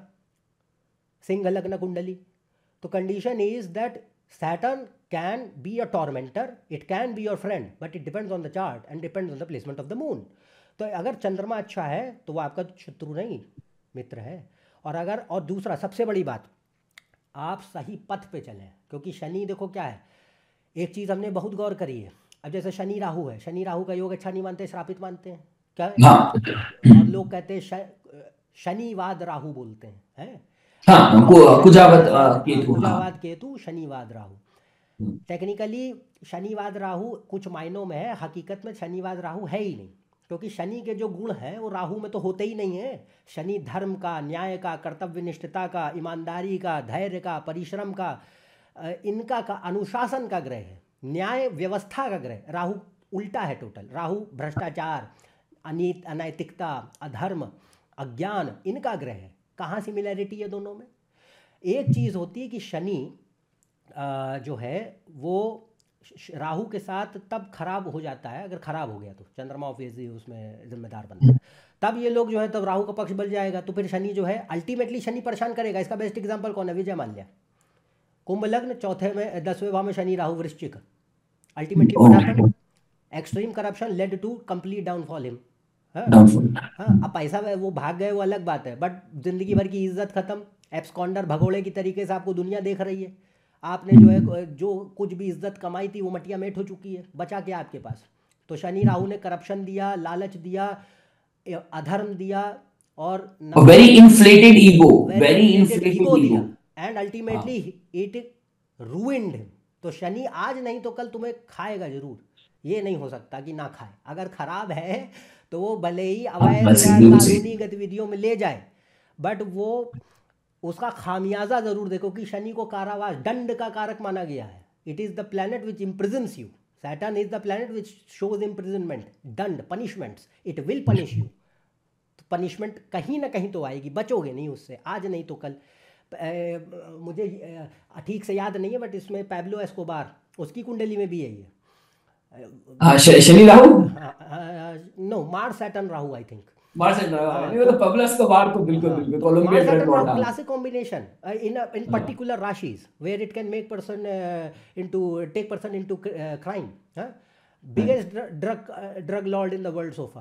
ultimately what है खत्म कर तो कंडीशन ये है कि शनि अगर देता है तो वह देता है जो आपके पास लंबे समय टिकती है अमिताभ बच्चन जी। भाई जो मिला वो आज तक बरकरार है उसमें वृद्धि हुई है गिरावट नहीं। आपने आपने अमिताभ बच्चन जी का एग्ज़ाम्पल लिया उनको देखिए अभी वो शायद एटी के टच कर रहे हैं और अभी भी उनका हेल्थ फिटनेस कहते हैं अभी भी सेट में शूटिंग जब होती है स्केड्यूल में वो सबसे पहले पहुँचते ही। Has all good Saturn characteristic मेहनत है कर्मठता है आज भी डिसिप्लिन प्रतिष्ठा सम्मान हाँ। दूसरा पंक्चुअलिटी है हा? तीसरा इंसान अपने काम को सीरियसली लेता हो सबसे बड़ी बात शनि वो है हम्बलनेस ह्यूमिलिटी अगर आपको शनि से कुछ चाहिए ना, आप विनम्रता पकड़ लीजिए। क्योंकि शनि सबसे बड़ा दुश्मन किसका है? सूर्य का। सूर्य किसका ग्रह है? अहंकार का। अगर शनि से अच्छे परिणाम चाहिए तो अहंकार में मत रहिए। वो आपके अहंकार को तोड़ देगा। शनि अपना एक होता है ना पर्सनल एजेंडा बना लेता है कि भाई, अगर वो किसी ऐसी सूरतों में है, कुंडली में, कि it's not good and it will make its personal agenda to make you realize your limitations, vulnerability, insecurities and insignificance. तो वो आपको ये हकीकत में यकीन करवा देगा दिखा करके कि बहुत हवा में मत उड़ें। आप प्रकृति के आगे आगे अभी भी बहुत आ, कम हैं कुछ भी नहीं है। एक्सेप्ट करने की ज़रूरत है आपको कि अभी भी आपको बहुत कुछ नहीं आता और विनम्रता को स्वीकार। है तो जो व्यक्ति पहले से ही विनम्र है जो व्यक्ति पहले से ही कर्मठ है जो व्यक्ति एक्सीलेंस के पीछे भागता है जो व्यक्ति कर्म करता है बहुत ज़्यादा फल के लिए नहीं जो है परेशान है। और जो व्यक्ति अहंकार के पीछे नहीं वाकई में एक जो है काम करके अपना एक खुशी पाना चाहता है वो शनि अच्छे शनि की निशानी है। Amitabh Bachchan has all of those things that is why even if other people say कि भाई वो कितने उनकी लोग तारीफ़ करते हैं। वो हमेशा ही कहेंगे नहीं हम इतने बड़े नहीं नहीं हम इतने बड़े नहीं। ही इज़ बट ही और वो देखो वो फेक नहीं है क्योंकि आप कितने दिन फेक करोगे? इक्यासी साल तक फेक करोगे क्या? है to fake your humility is it possible when you have reached stardom at the age of 32 or 33 hmm. and you've seen the peak of the stardom peak of the stardom which hardly anybody witnesses. इतना इतना लोगों ने retail क्योंकि देखिए उतना मतलब stardom तो राजेश खन्ना जी के पास भी था कितने बड़े बड़े एक्टर्स पर Amitabh Bachchan ji is in different league all together that is the reason because ascendant lord Saturn in fourth house alone in Taurus and Taurus public पे राज पब्लिक पे राज राज बट सबसे पहले क्या टॉरस चौथा भाव चौथा भाव क्या है मन शांति बुद्धि चौथा भाव तुम्हारा इमोशंस का है। सैटर्न मींस ठहराव वो इमोशन में बहुत हवा में मत जाओ। शांति वास्तविकता से जुड़े रहिए। एकांत में जाइए खुद को पहचानिए मेरे अंदर कमियाँ क्या उसे सुधारने की और काम हो। वो आज भी कहते हैं कि हमें बहुत कुछ सीखने को है। तो इतने नाम कमाने के बावजूद भी अगर वो व्यक्ति ये कह रहे हैं तो समझिए कि कोई तो कारण होगा। हम किसी से कोई प्रेरणा तो ले सकते हैं। तो अगर कोई व्यक्ति कहे बहुत से लोग होते हैं कुछ या तो कुछ किया ही नहीं होता है और थोड़ा बहुत कर लिया होता है तो ऐसा घुमान में आ जाते हैं कि क्या ही कहें। तो ऐसी सूरतों में ये सूर्य है। तो शनि की दशा से अगर गुजरोगे या साढ़े साथियों से गुजरोगे और इस तरीके की नार्सिसिस्टिक ट्रेट्स हैं या फिर एक्सेसिव ईगो में आप ज़िंदा हैं अपने आप को खुदा समझ लिए हैं गलती से तो समझ जाइए पतन का समय है आज नहीं तो अभिजीत जी मैं इसमें पता है अभिजीत जी मैं बात मैं बोलूँगा आपसे कि ना जैसे हम बोलते हैं ना कि अगर आपको ग्रह और देवता का कॉम्बिनेशन बनाना हो हम्म। मैं एक बात तो बोलता हूँ देखिए ठीक है पता है हनुमान जी का जो डोमेन है ना हनुमान जी का डोमेन लोगों ने सिर्फ़ सुरक्षा से, रक्षा से उससे रखा है। मैं कहता हूँ, हनुमान जी का सबसे बड़ा गुण जो है, जो अपने भक्तों में डालते हैं, वो है डिवोशन का। जैसे हनुमान जी ने राम का नाम है, आप देखो, हनुमान भक्तों के अंदर एक आपको एक, वो एक जुनून मिलेगा किसी चीज़ को, कुछ करने का, कुछ पाने का, कोई स्पेसिफिक चीज़ को चेस कर रहे होंगे। और बताया होता क्या है? मैं कहता हूँ कि जैसे मैंने आपको बोला, ग्रह और देव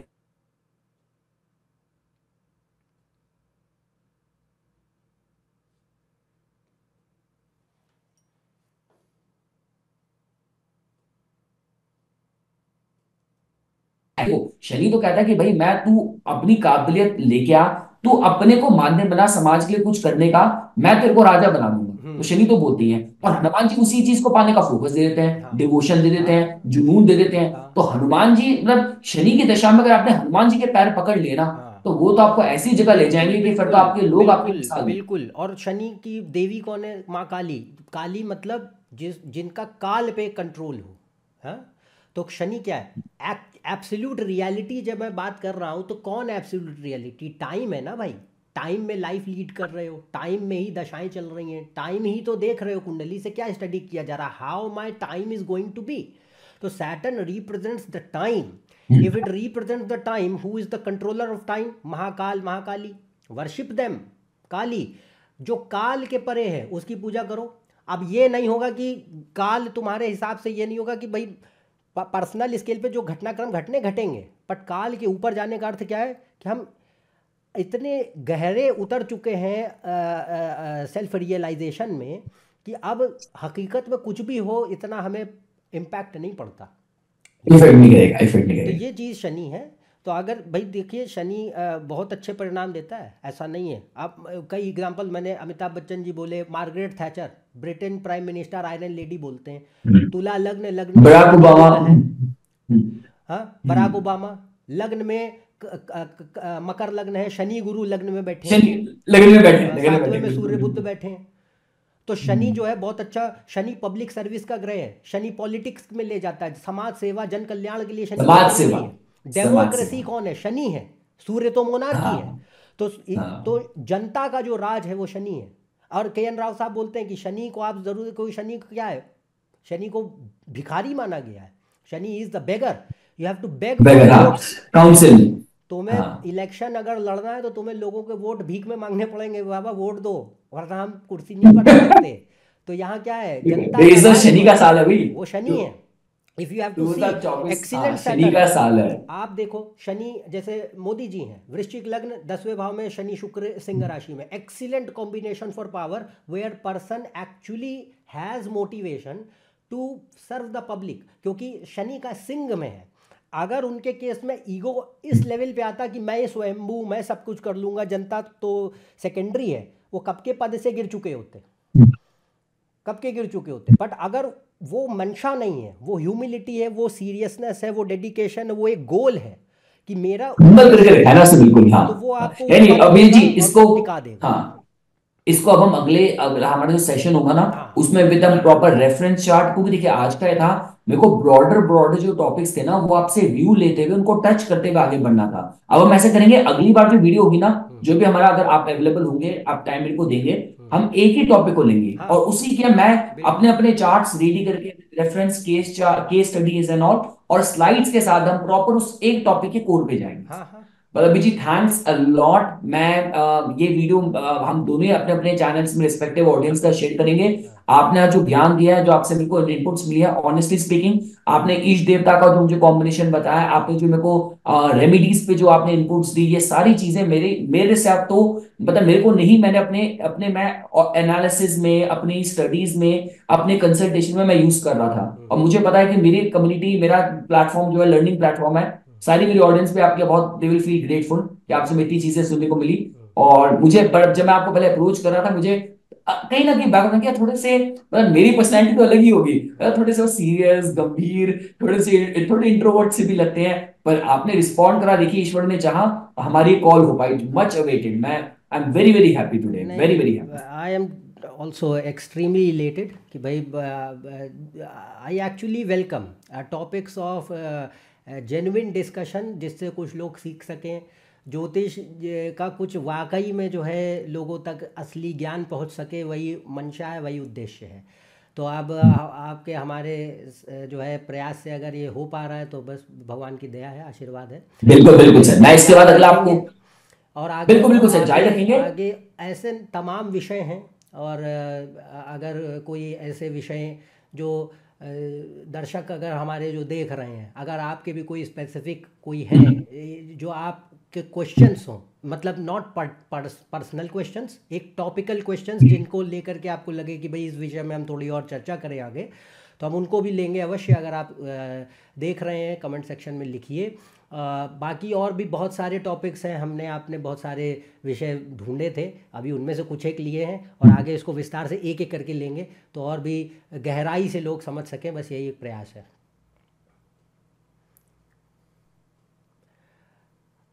बिल्कुल बिल्कुल अभिजीत जी बिल्कुल हम्म। चलिए अभिजीत जी थैंक्स लॉट मुझे लग रहा है आपकी वॉइस थोड़ा इंटरनेट का कनेक्शन लूज भी हो रहा है पर जो भी हमें हम्म। सारा हमारा इंट्रोडक्शन हो गया फॉर्मल सारी बात होगी हम्म। मैं अब आपसे बस अब विदा लेना चाहूँगा थैंक्स लॉट अभिजीत चैनल में आने के लिए बहुत बहुत धन्यवाद वेलकम वेलकम नमस्कार